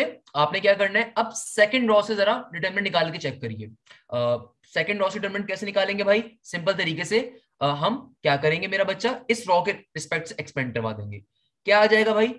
ये वाली सेकंड रॉ में हमेशा नेगेटिव साइन होता है। पहले एलिमेंट के तो नेगेटिव का ज़ीरो ये ज़ीरो जिस रॉ में है, जिस कॉलम में वो इग्नोर कर दिया जाएगा। बाकी के चार नंबर्स कौन कौन से भैया? टू थ्री वन टू फिर अगला एलिमेंट अगला एलिमेंट होगा तो प्लस के साइन के साथ। अगला एलिमेंट रॉ का होगा तो प्लस के साइन के साथ। मगर यहाँ पे नेगेटिव पहले से गिवन है? यहाँ पे नेगेटिव इस नंबर के साथ पहले से गिवन है? क्या हो जाएगा? प्लस माइनस माइनस हो जाएगा, माइनस का वन। अब ये जिस कॉलम में, जिस रॉ में वो इग्नोर बाकी के चार numbers one three three two फिर लास्ट वाला किसके साथ होगा? ये प्लस था तो ये नेगेटिव होगा ऑब्वियसली सी बात है मेरा बेटा। सिंपल तरीके से नेगेटिव का फोर हो जाएगा। जिस रॉ में है, जिस कॉलम में इग्नोर कर दो भाई। क्या बचा आपके पास? One two three one solve करवा लो। भाई मुझे साफ़ देख रहा है, ये पूरे का पूरा जब ज़ीरो से मल्टीप्लाई होगा, खत्म हो जाएगा। सॉल्व करने की नीड ही नहीं है सारी चीज़ को तो। यहाँ पे क्या हो जाएगा? टू वन जर टू माइनस का थ्री थ्री जर नाइन यहाँ पे क्या हो जाएगा? माइनस का फोर, वन वन जर वन, माइनस का थ्री, टू जर सिक्स। तो भैया ये क्या बन गया? माइनस का वन। दो में से तुम नौ निकालो भैया। जब तुम दो में से नौ निकालोगे, क्या बन गया? सात बन गया नेगेटिव का सात। नेगेटिव का सात और नेगेटिव का एक क्या बन गया? पॉजिटिव का सात हो गया। एक में से पाँच निकालूँगा तो नेगेटिव का पाँच बनेगा। नेगेटिव का पाँच और नेगेटिव का चार क्या हो जाएगा? प्लस का। प्लस का बीस। तो बीस प्लस सात क्या हो जाएगा? सिंपल तरीके सत्ताईस। तो बेटा मेरी यहाँ पे वो बात आपको प्रूफ करवाता हूँ कि देखो डिटर्मिनेंट तुम किसी भी रॉ के रिस्पेक्ट से निकालो, हमेशा वैल्यू सेम देगा तुम्हें डिटर्मिनेंट की। ऑलवेज रिमेंबर दिस कॉन्सेप्ट ये बड़ी इंपॉर्टेंट चीज़ है। क्लियर है मेरा बेटा? कोई मसले की बात, कोई परेशानी की मैंने ये कॉन्सेप्ट ये वाली चीज़ आपको क्यों बताई है? क्योंकि बेटा ऐसे क्वेश्चंस मैं भी आपको करवाऊँगा जहाँ पे कोई ना कोई हमें फनकारी मिलेगी। कि हम सेकंड ड्रॉप या थर्ड ड्रॉप पे जाएँ तो वहाँ पे जाके समझाने से बहुत बेहतर मुझे ये लगा कि मैं आपको पहले ये कॉन्सेप्ट दे दूँ कि आप इस तरीके से भी काम कर सकते हो। क्लियर है भाई? जल्दी अच्छा तो बेटा। अब हम चल रहे हैं फाइनली आज की क्लास के एक और टॉपिक के ऊपर जो कि सबसे ज़्यादा इंपॉर्टेंट है जो कि सबसे ज़्यादा इंपॉर्टेंट है। क्या कह रहे हैं? ये हमसे कहता है प्रॉपर्टीज़ ऑफ़ डिटर्मिनेंट डिटर्मिनेंट की प्रॉपर्टीज़ अच्छा मैं एक चीज़ क्लियर कर देता हूँ। मेरा बेटा मैंने ये आपको बात सिखाई थी कि डिटर्मिनेंट का सिंबल क्या होता है? कि आपके जो पर्टिकुलर मैट्रिक्स होता है उस मैट्रिक्स के ऊपर आपका ये आ, मैंने इसको समझाने के लिए बताया था मॉडल्स की तरह का। इसको आप ढंडे कह लो भाई ये सिंपल सिंबल कह लो ये आपके पास ये इसका सिंबल है मतलब ये इसका सिंबल है। इससे कोई फ़र्क नहीं पड़ता पॉजिटिव नेगेटिव का। अगर आपके जहन में ये बात आ रही है कि सर अगर डिटर्मिनेंट की वैल्यू नेगेटिव के अंदर आएगी तो चूँकि यहाँ पे मॉडल्स की तरह का सिंबल है तो पॉजिटिव हो जाएगा। नहीं मेरा बेटा, ऐसा कुछ भी नहीं मैंने कहा। मैंने ऐसी कोई बात नहीं करी आपसे। मैंने खाली सिंबल समझाने के लिए आपको तजबी दी थी, बताया था। आपको सिमिलैरिटी शो करने की कोशिश करी थी। बट उसका कतई तौर पर मतलब नहीं है भाई। डिटर्मिनेंट की वैल्यूज़ नेगेटिव में एग्जिस्ट करती है और इट्स टोटली फाइन नेगेटिव में डिटर्मिनेंट की वैल्यूज़ होती है। क्लियर है मेरा बच्चा? आ, नहीं इसको मॉड नहीं कहते भाई। डिटर्मिनेंट का सिंबल ही कहलाता है डिटर्मिनेंट का नॉर्मल सिंबल है हमारे पास। इसको आप कह दो सिंपल स्ट्रेट लाइंस कह दो जो आपके पास ए के साथ होती है। क्लियर है भाई? वापस आ जाओ। Properties of properties of determinant अच्छा। uh, बिल्कुल मेरा बेटा रॉज एंड कॉलम्स का हमारे पास इक्वल होना ज़रूरी है क्योंकि टू बाई टू के ऊपर हमारा डिफरेंट डिटर्मिनेंट निकलता है थ्री बाई थ्री पे डिफरेंट निकलता है फोर बाई फोर पे अलग निकलेगा। तो ऑब्वियसली हमारी रॉज एंड कॉलम्स का सिमिलर होना ज़रूरी है डिटर्मिनेंट फाइंड करने के लिए। अच्छा। Properties of determinant most important topic है, पहली प्रॉपर्टी बड़े मज़े की प्रॉपर्टी है। अगर मैं आपके सामने ऑलवेज रिमेंबर दिस थिंग अगर कभी भी मैट्रिक्स के अंदर रॉज या कॉलम्स आपके पास क्या आ जाए सिमिलर आ जाए। अगर कभी भी मैट्रिक्स के अंदर रॉज और कॉलम सिमिलर आ जाए फॉर एग्ज़ाम्पल बात शो करेंगे एग्ज़ाम्पल से, भाई ऐसे नहीं बात करेंगे एग्ज़ाम्पल से। A B C one two three A B C दुनिया में दुनिया में कभी भी आपके मैट्रिक्स की या तो नंबर ऑफ़ रॉज या नंबर ऑफ़ कॉलम्स अगर सिमिलर आ जाए, यानी कि दो रॉज या दो कॉलम्स क्या आ जाए? सिमिलर आ जाए. ऑलवेज रिमेंबर दिस थिंग ऐसे मैट्रिक्स का डिटर्मिनेंट निकालने की ज़रूरत नहीं है, उसका आंसर वैसे ज़ीरो आएगा.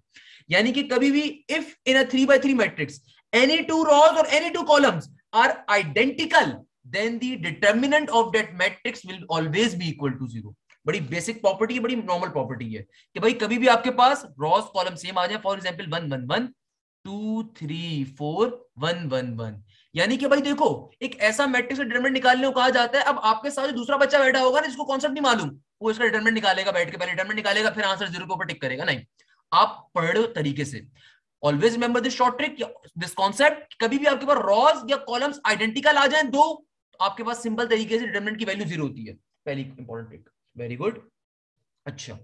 दूसरा मेजर प्रॉपर्टी दूसरी मेन प्रॉपर्टी अगर कभी भी किसी मैट्रिक्स के अंदर एक पूरी रॉ या कॉलम ज़ीरो के बराबर आ जाए फॉर एग्ज़ाम्पल फॉर एग्ज़ाम्पल बात समझेंगे भाई, बात एग्ज़ाम्पल के ज़रिए, ऐसे खाली पीली नहीं। For example zero zero zero one two three four five six सही है भाई। हमने क्या कहा? हमने कहा कभी भी दुनिया के अंदर, किसी मैट्रिक्स के अंदर एक पूरी की पूरी रॉ ज़ीरो वाली आ जाए, या एक पूरा का पूरा कॉलम ज़ीरो वाला आ जाए one, two, three, four, five, six. यानी कि कभी भी किसी भी मैट्रिक्स के अंदर एक पूरी रॉ ज़ीरो की आ जाए, पूरे कॉलम ज़ीरो का आ जाए, ऐसे मैट्रिक्स का डिटर्मिनेंट भी हमेशा ज़ीरो के बराबर होता है। ऐसे मैट्रिक्स का डिटर्मिनेंट भी हमेशा ज़ीरो के बराबर होता है। तो ये कॉन्सेप्ट आपको लाजमी मालूम होना चाहिए। क्लियर है भाई? क्योंकि शॉर्ट ट्रिक्स है। ये प्रॉपर्टीज़ आपकी शॉर्ट ट्रिक्स हैं। अच्छा ओके आगे बढ़ते हैं। एक और मज़े की चीज़। तीसरी प्रॉपर्टी जो कि बड़ी मज़े की है। फॉर एग्ज़ाम्पल अब इस प्रॉपर्टी को समझाऊँगा नहीं पहले। पहले एक एग्ज़ाम्पल देखते हैं। मैं आपके सामने लिखता हूँ ए बी सी फिर मैं लिखता हूँ डी ई एफ़ फिर मैं लेट सपोज़ लिखता हूँ जी एच आई मैंने आपके सामने क्या लिखा एक सिंपल मैट्रिक्स बनाया। मगर मैं आपसे कहता हूँ, यार, मुझे मज़ा नहीं आ रहा है इस मैट्रिक्स के अंदर। मैं चाहता था कि यार भाई, ये वाली जो रॉ थी ना, ये नीचे से ऊपर चली जाए। मुझे बिल्कुल मज़ा नहीं आ रहा है इस रॉ में। मतलब मैंने क्या कहा? मैंने आपसे कहा कि देखिए, हमने एक मैट्रिक्स तो लिख दिया आपके सामने। और ये क्वेश्चन मुझे मैट्रिक्स गिवन है कि आपके भाई ने आपको बना के, आपके दोस्त ने आपको एक मैट्रिक्स बना के दिया। बट आप उस मैट्रिक्स की रॉस को या कॉलम्स को इंटरचेंज करना चाहते हो। आप आगे पीछे मूवमेंट करना चाहते हो।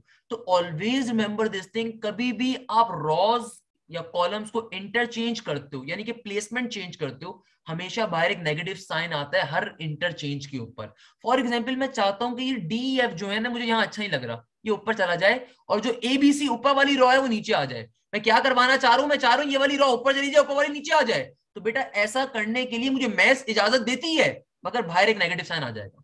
फिर क्या बन जाएगा? अब ये चेंज हो जाएगा। ये ऊपर आ जाएगा डी ई एफ़ नीचे आ जाएगा ए बी सी और नीचे वाली टर्म अपनी जगह पे मस्त एज इट इज़ रहेगी। जी एच आई का जी एच आई क्लियर है भाई? क्या कॉन्सेप्ट दिया? कि अगर आपके पास इस तरह की कंडीशन बन रही हो इस तरह का काम भी इजीली कर सकते हैं, कोई मसले की बात नहीं है इसके अंदर। आप मैट्रिक्स के कॉलम्स को या रॉस को इजीली इंटरचेंज कर सकते हो। तो अगर इसकी बेसिक सी इंग्लिश में हम कहें कि भाई इसकी डेफिनेशन क्या आप लिख सकते हो? When interchanging any row with some other row or vice versa for the column, then the sign of the determinant will be changed then the sign of the determinant will be changed simple सी बात करी कि any row with the some other row or column with some other column, then the sign of the determinant will change.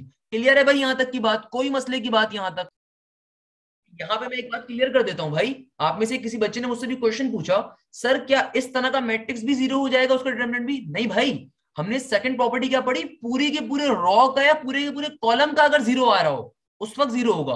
अगर ये इस तरह का matrix आ रहा है, इसमें देखो ये पूरी रॉ थोड़ी ज़ीरो है, ये पूरा कॉलम थोड़ी ज़ीरो है। तो सिंपल मैट्रिक्स है भाई सिंपल इसका डिटरमिनेंट की कोई ना कोई वैल्यू आ रही होगी। सही है भाई? अच्छा सर एक साथ भी सिमिलर आ सकते हैं। देखो, अगर रॉ के अंदर एक साथ आ रहे हो, दोनों रॉ सिमिलर होनी चाहिए। एक साथ की बात नहीं करी, दोनों रॉस के अंदर सिमिलर होनी चाहिए। क्लियर है भाई? यानी कि दोनों रॉस सिमिलर हैं, दोनों कॉलम सिमिलर है। उसके ऊपर आपका डिटरमिनेंट ज़ीरो होता है। अच्छा एक और चीज़ जो मुझसे एक बच्चे ने पूछी, सर सर, अगर हम एक से ज़्यादा रॉस को इंटरचेंज करें तो भाई ज़ाहिर सी बात है हर रॉ की इंटरचेंज पे नेगेटिव साइन आएगा। फॉर एग्ज़ाम्पल हमारे पास ओरिजिनल मैट्रिक्स ये था, आपने एक दफ़ा इंटरचेंज करवा के डी एफ़ को ऊपर ले गए और एबीसी नीचे आ गया जीएचए नीचे आ गया। अब आप चाहते हो कि नहीं एबीसी को और नीचे फेंक दो। अब आप चाहते हो एक और एबीसी नीचे आ जाए, सही है ना? तो क्या करोगे भाई? सिंपल तरीके से एक और नेगेटिव साइन बाहर आ जाएगा तो नेगेटिव नेगेटिव क्या हो जाएगा? प्लस हो जाएगा। सिंपल सी बात है। कॉन्सेप्ट आपका वही रहेगा कि भाई अब मैं अगर इस रॉ को एक और बार इंटरचेंज करवाना चाहता हूँ तो हर इंटरचेंज में नेगेटिव साइन बाहर आता है। हर इंटरचेंज पे एक नेगेटिव साइन बाहर आता है। uh, नहीं ये मैट्रिक्स से मल्टीप्लाई नहीं होता। जब डिटर्मिनेंट फाइंड कर लोगे तो ऑब्वियसली उससे मल्टीप्लाई हो रहा होगा। जब आप डिटर्मिनेंट फाइंड कर होगे डिटर्मिनेंट है ना डिटर्मिनेंट तो उससे मल्टीप्लाई हो रहा होगा। अब क्लियर है मेरा बच्चा? अब सब यहाँ पे अब मैं एक चौथी प्रॉपर्टी पढ़ाना चाहूँगा। ये चौथी प्रॉपर्टी बड़ी मज़े की है। दुनिया में कभी भी अगर आपके पास दुनिया में कभी भी अगर आपके पास आ, किसी भी मैट्रिक्स का किसी भी मैट्रिक्स का डिटर्मिनेंट बराबर आ जाए किसी भी मैट्रिक्स का डिटर्मिनेंट बराबर आ जाए उसी मैट्रिक्स के ट्रांसपोज के डिटर्मिनेंट के। या फिर चलो उसको आसान जबान में मैं और कन्वे कर देता हूँ कि अगर कभी भी आपके पास किसी भी पर्टिकुलर मैट्रिक्स किसी भी पर्टिकुलर मैट्रिक्स की वैल्यू उसी के ट्रांसपोज के बराबर आ जाए कभी भी आपके पास किसी भी मैट्रिक्स की वैल्यू उसी के ट्रांसपोज के क्या आ जाए? बराबर आ जाए। तो ऐसे मैट्रिक्स का डिटर्मिनेंट भी ज़ीरो के बराबर होता है। क्या कहा मैंने? आपके पास एक ओरिजिनल मैट्रिक्स गिवन है। लेट सपोज़ ये गिवन है one two one three one two four one zero again मैंने एक एग्जांपल दी है। डायरेक्टली आपको प्रॉपर नहीं करवा रहा अगर मेरे पास एक सिंपल तरीके से एक मैट्रिक्स आ जाए, और अगर मैं इस मैट्रिक्स का ट्रांसपोज लू ट्रांसपोज के ऊपर मुझे वापस से ओरिजिनल मैट्रिक्स मिल जाए। तो ऐसे मैट्रिक्स का डिटर्मिनेंट भी ज़ीरो होता है। एक्जैक्टली इसको सिमेट्रिकल मैट्रिक्स हम कह रहे होते हैं। इसका भी क्या होता है? डिटर्मिनेंट ज़ीरो के बराबर होता है। तो ये की भी प्रॉपर्टी थी। अच्छा।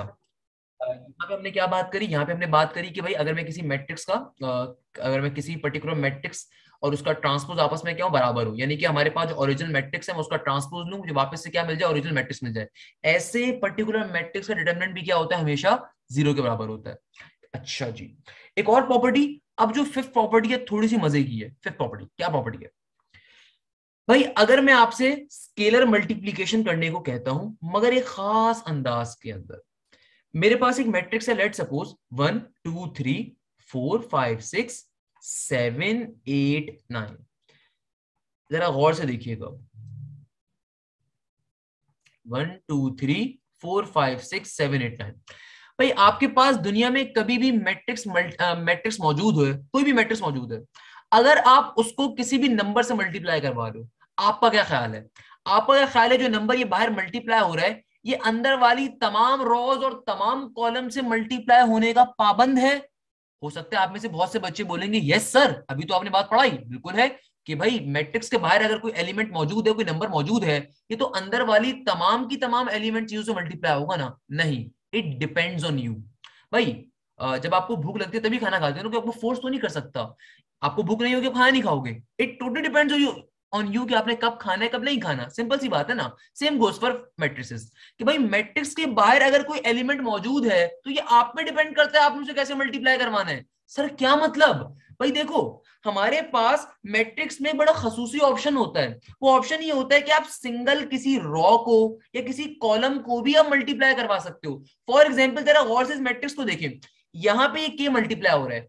मैंने ऊपर करके लिखा, बीच में लिखा। ये के सिर्फ़ पहली कॉलम कॉलम से मल्टीप्लाई करवा देते हो। क्या बन जाएगा? ये बन जाएगा के ये क्या बन जाएगा? फोर के फिर क्या बन जाएगा? सेवन के और बाकी तमाम एलिमेंट्स एज इट इज़ रहेंगे two three five six eight and nine sir, क्या कहा? दोबारा कहिएगा। मेरा बेटा, मैंने सिंपल सी बात करी। मैंने आपसे कहा कि भाई it totally depends on you आप स्केलर मल्टीप्लीकेशन कैसे करवा रहे हो। बहुत दफ़ा मैट्रिक्स को मल्टीप्लाई करवाते हुए, बहुत दफ़ा हम अपने मैट्रिक्स को फॉर्म करते हुए स्पेशली वो बच्चे जो नस के एग्ज़ाम के लिए तैयारी कर रहे हैं, उनके लिए बेटा अभी टॉपिक हमारे पास आगे चल के आएगा रैंक ऑफ़ द मैट्रिक्स या हमारे पास इकोलॉन फॉर्म वहाँ पे हमें कुछ बेसिक काम करने होते हैं मैट्रिक्स को सिमिलर बनाने के लिए। तो भाई, उसका मेन कॉन्सेप्ट इस क्लास के अंदर है कि आपके पास चॉइस होती है, आपने क्या करना है। मैट्रिक्स के बाहर कोई भी नंबर कोई भी टर्म मल्टीप्लाई हो रही है, आप चाहो तो उसको सिर्फ़ पर्टिकुलर रॉ या पर्टिकुलर कॉलम से ही मल्टीप्लाई करवा सकते हो। सर, बात समझ में नहीं थोड़ा सा और क्लियर करें। फॉर एग्ज़ाम्पल फॉर एग्ज़ाम्पल मैं आपसे कहता हूँ कि भाई, मेरे पास एक मैट्रिक्स गिवन है, मेरे पास एक मैट्रिक्स गिवन है। ये मैट्रिक्स है one three zero two one five three one eight एक मैट्रिक्स है। भाई मुझे इसको किसी किसी चीज़ से सिमिलर करना है फॉर एग्ज़ाम्पल मुझे कुछ भी काम करना है एक्स वाई जी मैं चाहता हूँ कि यार इस पूरी की पूरी रॉ को टू से मल्टीप्लाई करवा दू। मैं बाकी नंबर्स को छेड़ना नहीं चाहता। मैं सिर्फ़ ये चाहता हूँ कि ये वाले जो नंबर्स है ना, इनको खाली टू से मल्टीप्लाई करवाना है मुझे। तो मैं क्या करूँगा? मैं सिंपल तरीके से एक जुमला लिख दूँगा कि भाई multiply two by multiply two by कौन सा कॉलम है? कॉलम वन है। पहला कॉलम है ना? मैं लिख दूँगा सी वन यानी कि जब मैं स्टेटमेंट लिख दूँगा, इसका मतलब ये होगा कि सिर्फ़ ये कॉलम वन जो होगा, पूरा कॉलम वन टू से मल्टीप्लाई हो रहा है। तो सिंपल तरीके से मैट्रिक्स में नया लिखूँगा, उसमें क्या बन जाएगा? Two one two two two four two three six फिर क्या हो जाएगा? Three one one zero five eight तो हमारे पास ये ऑप्शन भी मैट्रिक्स के अंदर मौजूद होता है। ये बताना इसलिए ज़रूरी क्योंकि हमारे पास बेटा आईबीए के पास पेपर्स में भी आपको ऐसे क्वेश्चन मिलेंगे जहाँ पे सिमिलर मैट्रिक्स बनाने के लिए हम ये काम करते हैं। स्पेशली वेरिएबल बेस्ड मैट्रिक्स के अंदर ये काम बहुत ज़्यादा हम कर रहे होते हैं अपनी वैल्यूज़ को सेम बनाने के लिए। क्लियर है मेरा बेटा? कोई मसले की बात, कोई परेशानी की बात, जल्दी से बताइए। बिल्कुल बेटा, आप सबके साथ भी कर सकते हैं। बिल्कुल बेटा, हम सबके साथ भी कर सकते हैं। हम आज से सबके साथ ही करते हुए आए हैं। तो भाई इसकी इस प्रॉपर्टी की मैं आपको अगर बेसिक सी डेफिनेशन क्या बन सकती है? Multiplying a scalar with determinant multiplying a scalar with determinant only any one row column can be consider to multiply यानी कि जो मैंने बात अभी आपको समझाई है, उर्दू के अंदर उसको आप सिंपल तरीके डेफिनेशन ताकि अपनी आसानी के लिए कि भाई आप सिंपल तरीके स्केलर मल्टीप्लिकेशन के अंदर आप डिटरमिनेंट से मल्टीप्लाई करवा सकते हो। मल्टीप्लाइंग का स्केलर यानी कि कोई भी आप नंबर वगैरह को डिटरमिनेंट से मल्टीप्लाई करवाते हो, किसी एक रॉ कॉलम के ऊपर भी करवा सकते हो और सिंपल मल्टीप्लिकेशन कंसीडर होती है। मल्टीप्लाइंग की scalar with determinant only any one row column can be consider to multiply अब जो अगली प्रॉपर्टी है ना, बड़े मज़े की प्रॉपर्टी है। लिटरली बड़े मज़े की प्रॉपर्टी हमारी अगली property that is property number six second last property property number six मैं आपके सामने एक मैट्रिक्स ड्रॉ करने वाला हूँ। एक determinant based matrix that is two P three P four P three P seven P eight P अपनी मर्ज़ी से कोई भी simple one P and minus का टू पी और माइनस का नाइन पी कर लेते हैं इसको। मैंने आपके सामने एक मैट्रिक्स लिखा। अगर आप गौर करें तो बेटा इस मैट्रिक्स के अंदर ये पी पी पी पी बहुत कॉमन आ रहा है। अगर आप इस पर्टिकुलर मैट्रिक्स को गौर करें तो इस मैट्रिक्स के अंदर हर एलिमेंट हर रॉ के अंदर ये जो वेरिएबल पी है कॉमन आ रहा है। यानी कि कोई भी वेरिएबल कॉमन आ रहा है तो हम यहाँ से अगर कॉमन निकालना चाहें तो भाई हमारे पास एक प्रॉपर्टी होती है डिटर्मिनेंट के लिए। कि अगर कभी भी डिटर्मिनेंट की फॉर्म के अंदर अगर कभी भी डिटर्मिनेंट की फॉर्म के अंदर आपके पास आ, हर रॉ के अंदर, हर एलिमेंट में कोई चीज़ कॉमन आ रही है तो आप हर रॉ से कॉमन इंडिविजुअली निकाल सकते हो। क्या कहा? बेटा डिटर्मिनेंट की प्रॉपर्टी है। क्या कहा? दोबारा गौर सुनिएगा। डिटर्मिनेंट पढ़ने ना प्रॉपर्टीज़ तो भाई, कभी भी अगर आपके पास डिटर्मिनेंट के अंदर किसी भी रॉ से आपको कोई चीज़ कॉमन निकालनी है तो इजिली कॉमन निकाल सकते हो। उसके लिए आपको पूरे मैट्रिक से कॉमन लेने की नीड नहीं पड़ती। क्या कहा? दोबारा सुनिएगा मिलियन डॉलर्स की बात है। आपको कभी भी मैट्रिक्स के डिटर्मिनेंट के अंदर कोई भी चीज़ कॉमन निकालनी हो बाहर तो आप सिंपली अपनी रॉ से, वो एक इंडिविजुअल रॉ से भी कॉमन निकाल सकते हो, या दो रॉ से भी कॉमन निकाल सकते हो, या तीन के तीन रॉ से भी कॉमन निकाल सकते हो। फॉर एग्ज़ाम्पल इस केस के अंदर, जो पी आ रहा है, पहली रॉ में भी आ रहा है पी आ रहा है, दूसरी रॉ में भी आ रहा है पी तीसरी रॉ में भी आ रहा है। तो भैया, पहली रॉ से भी एक पी बाहर निकाला जाएगा दूसरी रॉ से भी एक पी निकाला जाएगा और तीसरी रॉ से भी एक पी निकाला जाएगा। तो हमारे पास अंदर क्या बन जाएगा? अंदर बन जाएगा टू थ्री फोर फिर क्या हो जाएगा? थ्री सेवन एट फिर क्या हो जाएगा? One negative two negative nine और ये क्या बन जाएगा? पी क्यूब बन जाएगा। यानी कि P into P into P क्या बन गया? पी क्यूब और ये ऊपर वाला मैट्रिक्स एज का एज यानी कि for matrix we will take common for each and every column और रॉ क्या कहा? कभी भी आपके पास डिटर्मिनेंट आपको गिवन मैट्रिक्स का, आपको कभी डिटरमिनेंट गिवन मैट्रिक्स का, आप सिंपल तरीके से हर रॉ से इंडिविजुअल कॉमन निकालते हो। ये सिंपल मैट्रिक्स नहीं है डिटरमिनेंट मैट्रिक्स है। हम क्या करेंगे? हर रॉ से इंडिविजुअल एलिमेंट कॉमन लेते हैं। इंडिविजुअल जो पार्ट होगा इंडिविजुअल रॉ से कॉमन ले रहे होते हैं। तो इसकी इंग्लिश क्या बन सकती है हमारे पास? For a matrix we will take common for each and every column और रॉ यानी कि आप हर कॉलम से रॉ से निकाल सकते हो। ऐसे क्वेश्चंस पेपर में कैसे आते हैं? बेटा, ये आईबी के पास पेपर्स में आपको मिलेंगे एनईडी साइड भी मिलेंगे नस साइड भी मिलेंगे फास्ट साइड भी मिलेंगे। कि आपको सिंपल एक क्वेश्चन गिवन होगा। आपको उस पी के रिस्पेक्ट से सॉल्व करना होगा क्यू के रिस्पेक्ट से सॉल्व करना होगा, किसी वेरिएबल के रिस्पेक्ट से करना होगा। और वो वेरिएबल जो होगा ना, वो खाली एक मैट्रिक्स के ऊपर आ रहा होगा। For example one A minus का थ्री ए माइनस का three A and for example nine A और यहाँ पे होगा टू फोर कोई भी नंबर ले लीजिए आप थ्री ज़ीरो वन टू सही है। मेरे पास इस तरह का क्वेश्चन आ गया और यहाँ पे मुझे डिटर्मिनेंट की वैल्यू गिवन है अगेन मेरी बात और से सुनिएगा बेटा, ये प्रॉपर्टी डिटर्मिनेंट की है सिंपल मैट्रिक्स की नहीं है। डिटर्मिनेंट क्या मैट्रिक्स का सिंबल ही ये होता है कि आपके पास इस तरह की शेप होती है। आपके पास जो नॉर्मल मैट्रिक्स होता है इट इज़ दिस या फिर दिस या फिर दिस दिस सही है ना भाई? नॉर्मल मैट्रिक्स ये होता है। ये डिटर्मिनेंट की प्रॉपर्टीज़ हम पढ़ रहे हैं। हम नॉर्मल जो कॉमन निकालते हैं सिंपल उसमें निकालते हैं। यहाँ पे प्रॉपर्टी है ये आपकी। ये मैट्रिक्स के डिटर्मिनेंट की प्रॉपर्टी है भाई। तो अगर आप में से कोई बच्चा परेशान हो रहा है पूरा पी क्यों कॉमन निकाल रहे इतनी मेहनत करने की ज़रूरत क्या है? भाई ये प्रॉपर्टी है आपके पास। सही है ना? ये उसकी खास बात है। प्रॉपर्टी होती क्या है? खास चीज़ जो परफॉर्म कर सकता हो। तो डिटर्मिनेंट की खसूसियत है भाई। क्लियर है? तो अब अगर मुझे यहाँ से सॉल्व करना है तो क्या मैंने आपको तरीका बताया कि भाई देखो आपको साफ़ दिख रहा है कि ये जो ए आ रही है पूरे के पूरे मैट्रिक्स में कॉमन नहीं है, मगर इस इंडिविजुअल एक कॉलम में है। सिंपल तरीके से ये ए बाहर निकाल लिया जाएगा। आप निकाल सकते हो ए को बाहर। ये प्रॉपर्टी ऑफ़ अ डिटर्मिनेंट है। हमने क्या करा? हमने सिंपल तरीके से इसको बाहर निकाल दिया। अंदर वाली चीज़ें एज इट इज़ रहेंगी। अंदर वाली चीज़ें एज इट इज़ रहेंगी। सही है ना भाई? तो हमने मैंने आपको दोनों बातें सिखा दी। कि आप कभी भी डिटर्मिनेंट के ज़रिए रॉस के ऊपर कैसे कॉमन निकालोगे और कॉलम पे कैसे निकालोगे? जितने कॉलम से निकालोगे ऑब्वियसली उतनी दफ़ा वो चीज़ बाहर आके मल्टीप्लाई हो रही होती है। जैसे इस केस में हम तीनों रॉ से निकाल लेते पी को तो टी पी तीन दफ़ा बाहर आया था। इस केस में हमने ए जो है वो एक ही कॉलम से बाहर निकाला तो एक ही दफ़ा ए आया। सिंपल सी बात हो गई। तो बेटा ये छह प्रॉपर्टीज़ बिलियन डॉलर्स की हैं, बहुत मज़े की हैं। क्लियर है? जल्दी से मुझे क्लियर करिए, आपको ये बात समझ में आई है, नहीं आई है? अगर आप तो बच्चा पूछना चाहता है, सर, सिर्फ़ अगर एक रॉ के अंदर कोई एलिमेंट आ रहा हो तो बेटा आप एक रॉ से बाहर निकाल सकते हो, कोई इशू की बात नहीं है, कोई मसले की बात नहीं है। अब मैं पे दूसरे क्वेश्चन का आंसर कर देता हूँ। दूसरा क्वेश्चन, सर, आपने तो अभी कहा था कि हम पूरे मैट्रिक्स से भी कॉमन ले सकते हैं तो बेटा मैंने वहाँ पे मैट्रिक्स का लफ्ज यूज़ किया था, यहाँ पे हम डिटर्मिनेंट का वर्ड यूज़ कर रहा हूँ मैं, कि भाई आपको बताने के लिए कि यार आपके पास अगर नॉर्मल मैट्रिक्स के अंदर कोई चीज़ आ रही होती है, तमाम रॉज में, तमाम कॉलम्स में सेम कॉमन तो आप वो कॉमन एक ही बार निकालते हो। वो मैट्रिक्स के लिए होता है। यहाँ पे हम डिटर्मिनेंट की प्रॉपर्टी डिस्कस करें डिटर्मिनेंट के लिए। अभी तक हमने छह की छह जो प्रॉपर्टीज़ पढ़ी है डिटर्मिनेंट की एप्लीकेबल है भाई। खाली डिटर्मिनेंट के लिए। ये नॉर्मल मैट्रिक्स के लिए नहीं है। अच्छा मैं यहाँ पे दूसरी बात क्लियर कर देता हूँ कि भाई ये डिटर्मिनेंट की प्रॉपर्टीज़ पढ़ने का फ़ायदा क्या होगा, सर? भाई बहुत सारे तो अगर देखो इस तरह का क्वेश्चन आता है, यहाँ से आपको ए की वैल्यू फाइंड करने के लिए आता है।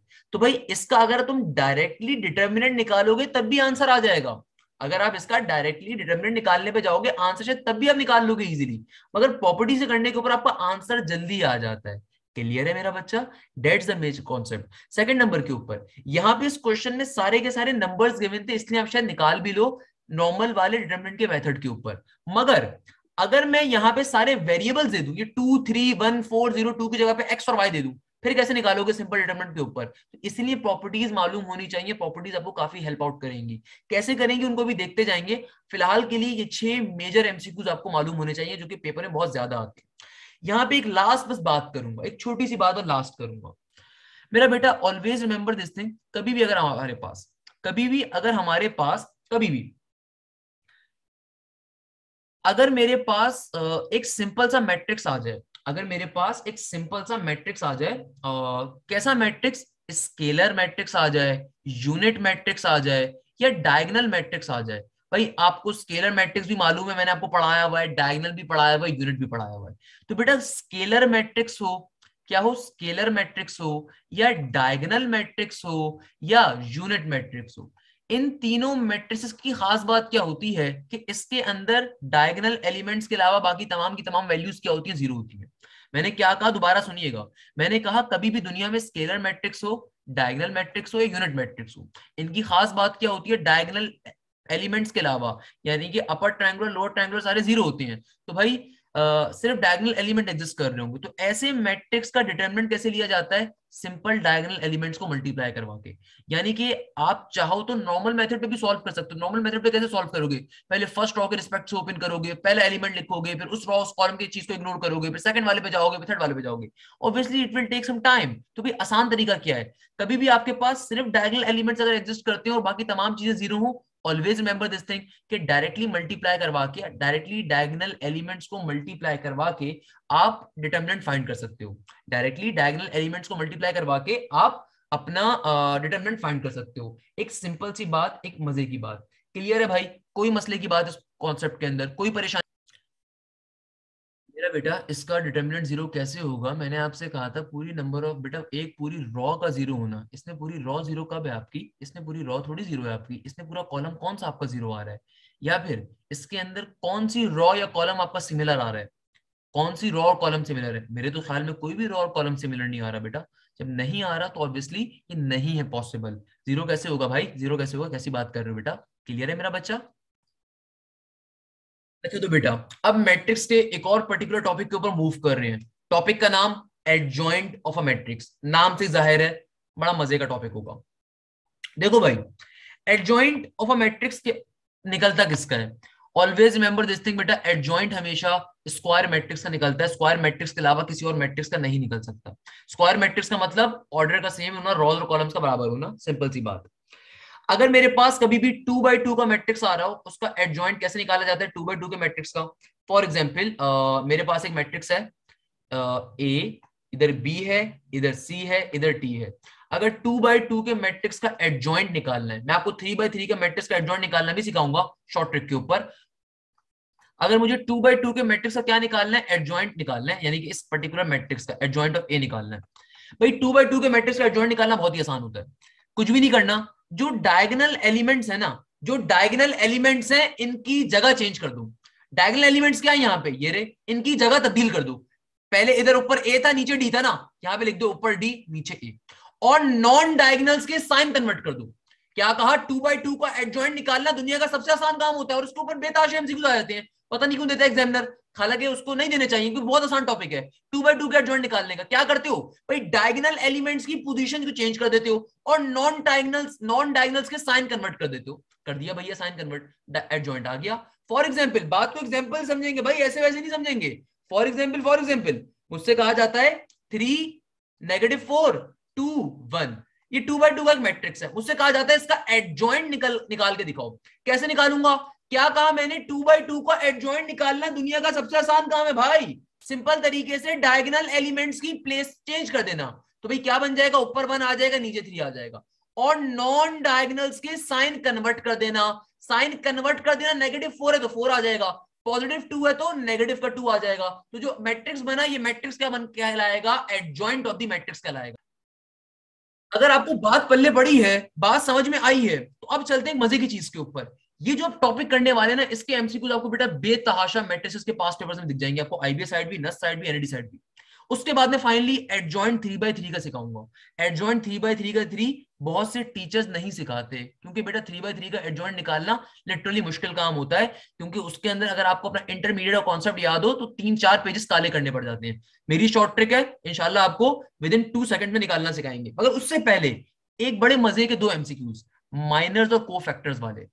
क्या कहा? माइनर ये माइनर बड़े मज़े की चीज़ है। भाई माइनर्स का जो फॉर्मूला होता है, इसको हम कहते हैं एम इन लोगों ने बनाया हुआ हालाँकि हमारे नज़दीक तो बड़ा आसान है। माइनर्स क्या हो गया? माइनर्स को रिप्रेजेंट करवाते हो एम से।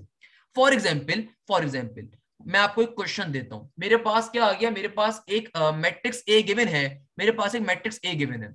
इसके अंदर जो एलिमेंट्स आ रहे हैं that is one zero three दूसरा आ रहा है for example four two minus one तीसरा आ रहा है ज़ीरो थ्री माइनस टू।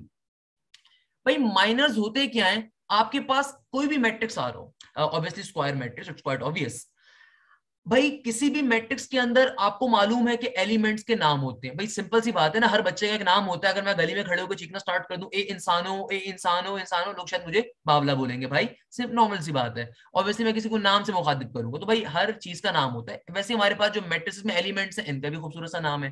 भाई, ये पहला वाला जो एलिमेंट है, क्या कहलाना पसंद करता है? ए वन वन कहलाता है। वन वन क्यों कहलाता है? क्योंकि पहली रॉ के पहले कॉलम का है। इसको क्या कहते हैं भैया? इसको कहते हैं वन टू वन टू क्यों कहते हैं? क्योंकि पहली रॉ का दूसरा पहली रॉ के दूसरे कॉलम का एलिमेंट है। इसको क्या कहते हैं? वन थ्री वन थ्री क्यों कहते हैं भैया तुम बोलोगे? सर, ये फ़र्स्ट रॉ के थर्ड कॉलम का है। इसको क्या कहते हैं? ए टू वन इसको कहते हैं ए टू टू इसको कहते हैं ए टू थ्री इसको कहते हैं A three one three two three three यानी कि हमारे पास जितने भी एलिमेंट्स होते हैं, इनके नाम होते हैं भाई। तो आपको नाम मैंने दोबारा से रिवाइज करवा दिया तो पहले पढ़ाए हुए थे। तो माइनर का कॉन्सेप्ट कुछ और नहीं है, यही है।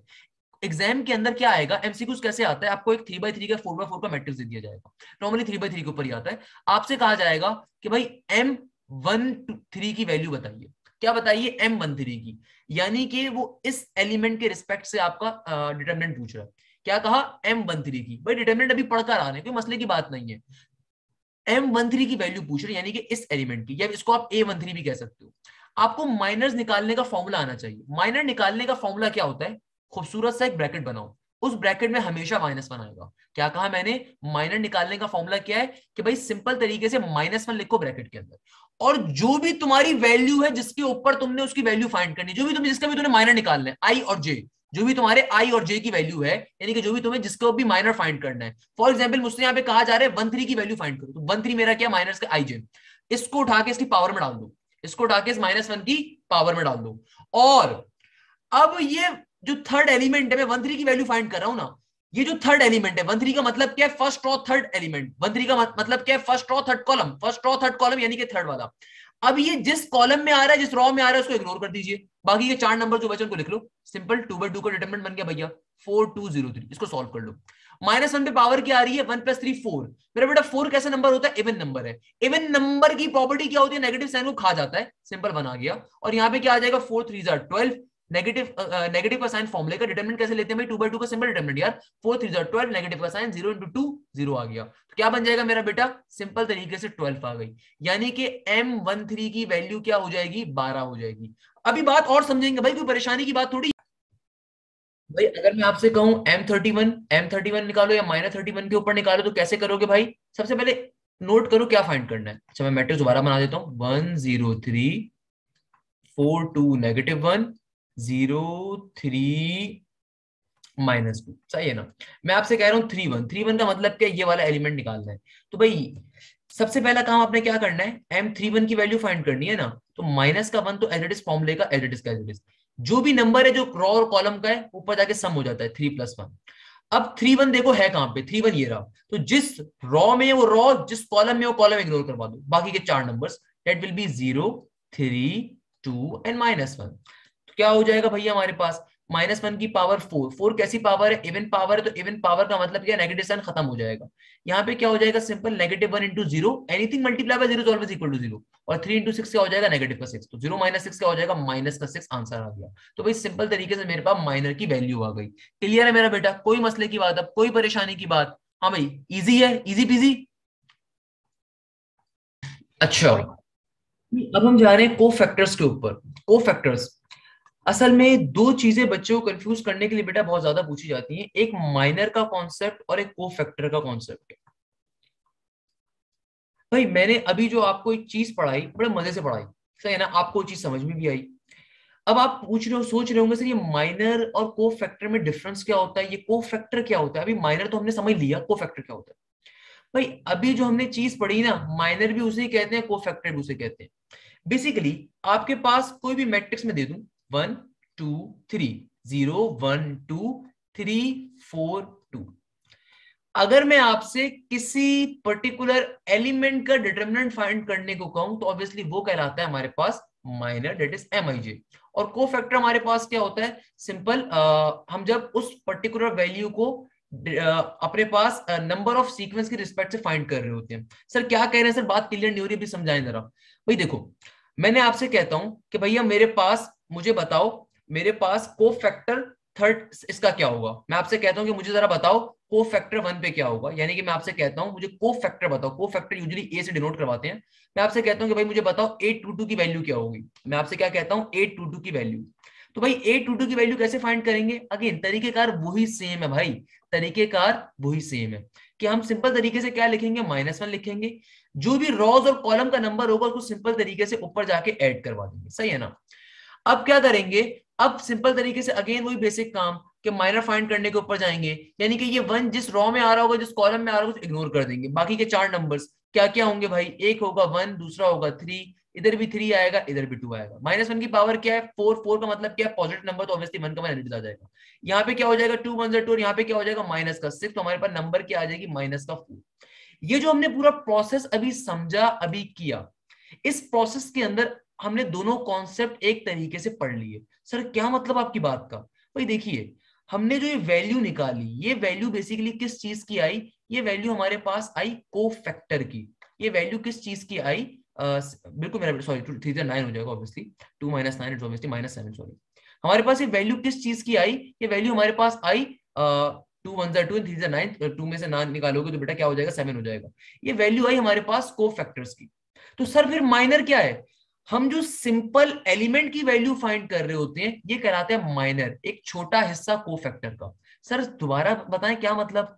भाई, अभी जो आपको पूरा प्रोसेस समझाया ना, इस प्रोसेस के अंदर माइनर वाला हिस्सा क्या कहलाता है? ये जो आप एलिमेंट की वैल्यू निकालने का काम करते हो ना, ये माइनर होता है। और जो ये फाइनल काम करते हो, ये क्या कहलाता है? कोफैक्टर अगर मैं आपसे पूछूँ कि इस एट टू टू के अंदर माइनर सिर्फ़ माइनर क्या है? तो ऑब्वियसली वो आपका यहाँ पे होगा माइनस का सेवन होगा। और को फैक्टर क्या है, जो हमने वन से मल्टीप्लाई करवा के हासिल किया, जो कि इस सूरत में क्या है सिमिलर है, जो कि इस सूरत के अंदर क्या है सिमिलर है, जो कि इस सूरत में क्या है सिमिलर है। दोबारा समझते हैं बात को। फॉर एग्ज़ाम्पल मैं आपको यही क्वेश्चन देता हूँ और आपसे कहता हूँ कि यहाँ पे जरा मुझे बताइए ए थ्री वन की वैल्यू क्या होगी? मैं आपसे कहता हूँ cofactor A thirty one की वैल्यू क्या होगी? भाई, बिल्कुल परेशान होने की ज़रूरत नहीं है। जो काम अभी समझा है ना, उसी काम को करो। सिंपल तरीके से क्या लिखोगे? माइनस वन लिखोगे, जो रॉज और कॉलम के नंबर्स आ रहे हैं, उनको ऊपर जाके सम करवा दोगे। और यहाँ पे क्या बन जाएगा? भाई ये थ्री वन जिसमें, जिस रॉ में आ रहा है रॉ इग्नोर कर दोगे इस कॉलम में आ रहा है कॉलम इग्नोर कर दोगे। सिंपल तरीके से क्या बन जाएगा? ये बन जाएगा टू ज़ीरो थ्री टू क्या बन जाएगा? टू ज़ीरो थ्री टू सही है भाई? मेरा बेटा, ये क्या हो जाएगा? ये सिंपल तरीके से माइनस का वन एज इट इज़ का as it is minus one as it is का एज इट इज़ पावर कैसी है? फोर है। ओके टू टू क्या बन गया? फोर और यहाँ पे क्या आ गया? ज़ीरो माइनस वन की पावर क्या आ गई? फोर्थ इवन नंबर आ गया, और ये फोर माइनस ज़ीरो क्या हो गया? पॉजिटिव फोर आ गया। अब जरा बात समझिएगा बात करना क्या चाह रहा हूँ? बेटा, मैंने आपको पूरा प्रोसेस समझा दिया खाली आपको एक छोटी सी बात समझनी है कि डिफ्रेंशिएट कैसे करोगे को फैक्टर क्या है और माइनर क्या है। माइनर देखो लफ्ज से ज़ाहिर हो रहा है छोटा हिस्सा। तो भाई, जो आप ये एलिमेंट वाली वैल्यू निकालने का काम करते हो, ये जो एलिमेंट की वैल्यू निकालने का काम करते हो, ये बेसिकली होता है माइनर और जब मल्टीप्लाई करवा के आंसर निकालते हो, वो कहलाता है cofactor for example in this particular case हमारे माइनर की वैल्यू क्या है? इतफाक से यहाँ पे भी सिमिलर आ रही है। इतफाक से क्या आ रही है? यहाँ पे भी सिमिलर आ रही है कि माइनर भी हमारे पास क्या आ रहा है? फोर ही आ रहा है माइनर और जो हमारा को फैक्टर आएगा फोर इंटू वन वो भी फोर ही आ रहा होगा को फैक्टर चले एक और एग्जांपल देख लेते हैं ताकि बात को समझे थ्री इंटू टू वाली देख लेते हैं। अगर मैं आपसे कहता हूँ कि थ्री टू के ऊपर सॉल्व करना है ए थर्टी टू के को फैक्टर बताइए क्या होगा? कैसे निकालोगे भाई ए थर्टी टू की वैल्यू सिंपल तरीके से आप क्या काम करोगे? आप यहाँ पे लिखोगे माइनस का वन सही है ना? सिंपल तरीके से क्या लिखोगे? माइनस का वन पावर में क्या आ जाएगा? थ्री प्लस टू नहीं, मेरा बेटा मल्टीप्लाई फॉर्म में जो आंसर लास्ट में आता है, वो आपको कोफैक्टर होता है। मैं भी समझा रहा हूँ, समझिएगा जरा। मैंने आपसे क्या कहा कि हमें थ्री थर्टी टू की वैल्यू निकालनी है। क्या बन जाएगा? Three plus two thirty two का मतलब क्या? ये वाला नंबर जिस रॉ में आ रहा है, जिस कॉलम में आ रहा है इग्नोर क्या बचा? वन ज़ीरो थ्री टू ये परफेक्ट एग्ज़ाम्पल ऐसे आपको बात समझ में आ जाएगी। यहाँ पे क्या बन गया? माइनस वन की पावर फाइव और यहाँ पे क्या हो जाएगा? टू वन टू और माइनस का ज़ीरो इंटू थ्री सिंपल तरीके से ज़ीरो हो जाएगा ऑब्वियसली टू इंटू थ्री क्या हो जाएगा आपका? ज़ीरो इंटू थ्री खत्म हो जाएगा। यहाँ पे क्या बचा? नेगेटिव का वन और यहाँ पे क्या आ गया? टू देखो, जो आपने डिटर्मिनेंट की वैल्यू निकाली बेटा, वो माइनर कहलाती है। तो अगर मैं आपसे कहूँ ए थर्टी टू के ऊपर आपका माइनर क्या है तो आपका माइनर टू होगा। अब अगर मैं आपसे कहूँ को फैक्टर क्या है? Cofactor and result and result two into negative one करोगे तो क्या बनेगा? नेगेटिव का टू को फैक्टर क्या कहलाएगा? नेगेटिव टू कहलाएगा। तो ये वाला क्वेश्चन ज़्यादा इंपॉर्टेंट है, क्योंकि इसके अंदर मैं दोनों चीज़ें डिफ्रेंशिएट करके समझा रहा हूँ। कि भाई देखो, अगर मैं आपसे कहूँ कि सिर्फ़ माइनर की वैल्यू बताओ, अगर मैं आपसे कहूँ कि सिर्फ़ माइनर की वैल्यू बताओ तो माइनर क्या है? माइनर आपके पास सिंपल डिटरमिनेंट वाला पार्ट है। डिटरमिनेंट वाला पार्ट यानी कि ये वाला पार्ट और अगर मैं आपसे कहूँ कि टोटल आंसर क्या है, वो कोफैक्टर होगा। क्लियर है भाई? इस बात को और समझना चाहता हूँ, एक और एग्जांपल करवा देता हूँ। मुझे कोई मसला नहीं बेटा एग्जांपल करवाने के अंदर। For example for example for example नहीं मेरा बेटा ए थर्टी वन के ऊपर आपका माइनर भी फोर होगा को फैक्टर भी सेम होगा। देखो माइनर सिर्फ़ आपके पास ये डिटर्मिनेंट वाला पार्ट होता है। को फैक्टर आपके पास इस वन से जो भी आपके पास यहाँ से नंबर आ रहा है और यहाँ से नंबर दोनों को मल्टीप्लाई करवाने वाला ऐसा को फैक्टर कहलाता है। फॉर एग्ज़ाम्पल देखो बात समझते हैं। यहाँ पे चूँकि सेम आ रहा है ना इसलिए कंफ्यूजन हो रही है। एक और चीज़ समझा देता हूँ। फॉर एग्ज़ाम्पल ये टू टू वाला। uh, नहीं टू टू थ्री देखिए। ए टू थ्री देखिए। यहाँ पे क्या हो जाएगा? प्रोसेस समझ में आ गया आप लोगों को। माइनस वन पावर में क्या आ जाएगा? Two plus three two three कौन सा ये वाला। ये कॉलम ये रॉ इग्नोर बाकी के चार नंबर्स कौन कौन से आ रहे हैं? एक आ रहा है वन दूसरा आ रहा है टू फिर आ रहा है थ्री फिर आ रहा है फोर सही है ना भाई? अब देखो माइनस वन की पावर फाइव का मतलब क्या? माइनस वन एडिट का एडिट रहेगा. यहाँ पे क्या बन जाएगा? फोर वन फोर माइनस का थ्री टू सिक्स तो यहाँ पे क्या आ गया? माइनस वन और यहाँ पे क्या आ गया? सिंपल माइनस का टू आ गया.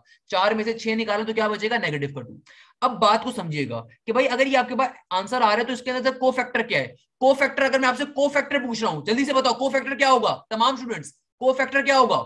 तमाम स्टूडेंट्स को फैक्टर क्या होगा? तमाम स्टूडेंट्स को फैक्टर क्या होगा? टू वेरी गुड को फैक्टर क्या होता है? सबसे लास्ट का रिज़ल्ट जब आप इस माइनस टू को इस माइनस वन से मल्टीप्लाई करवा दोगे तो को फैक्टर आपका पॉजिटिव टू आएगा.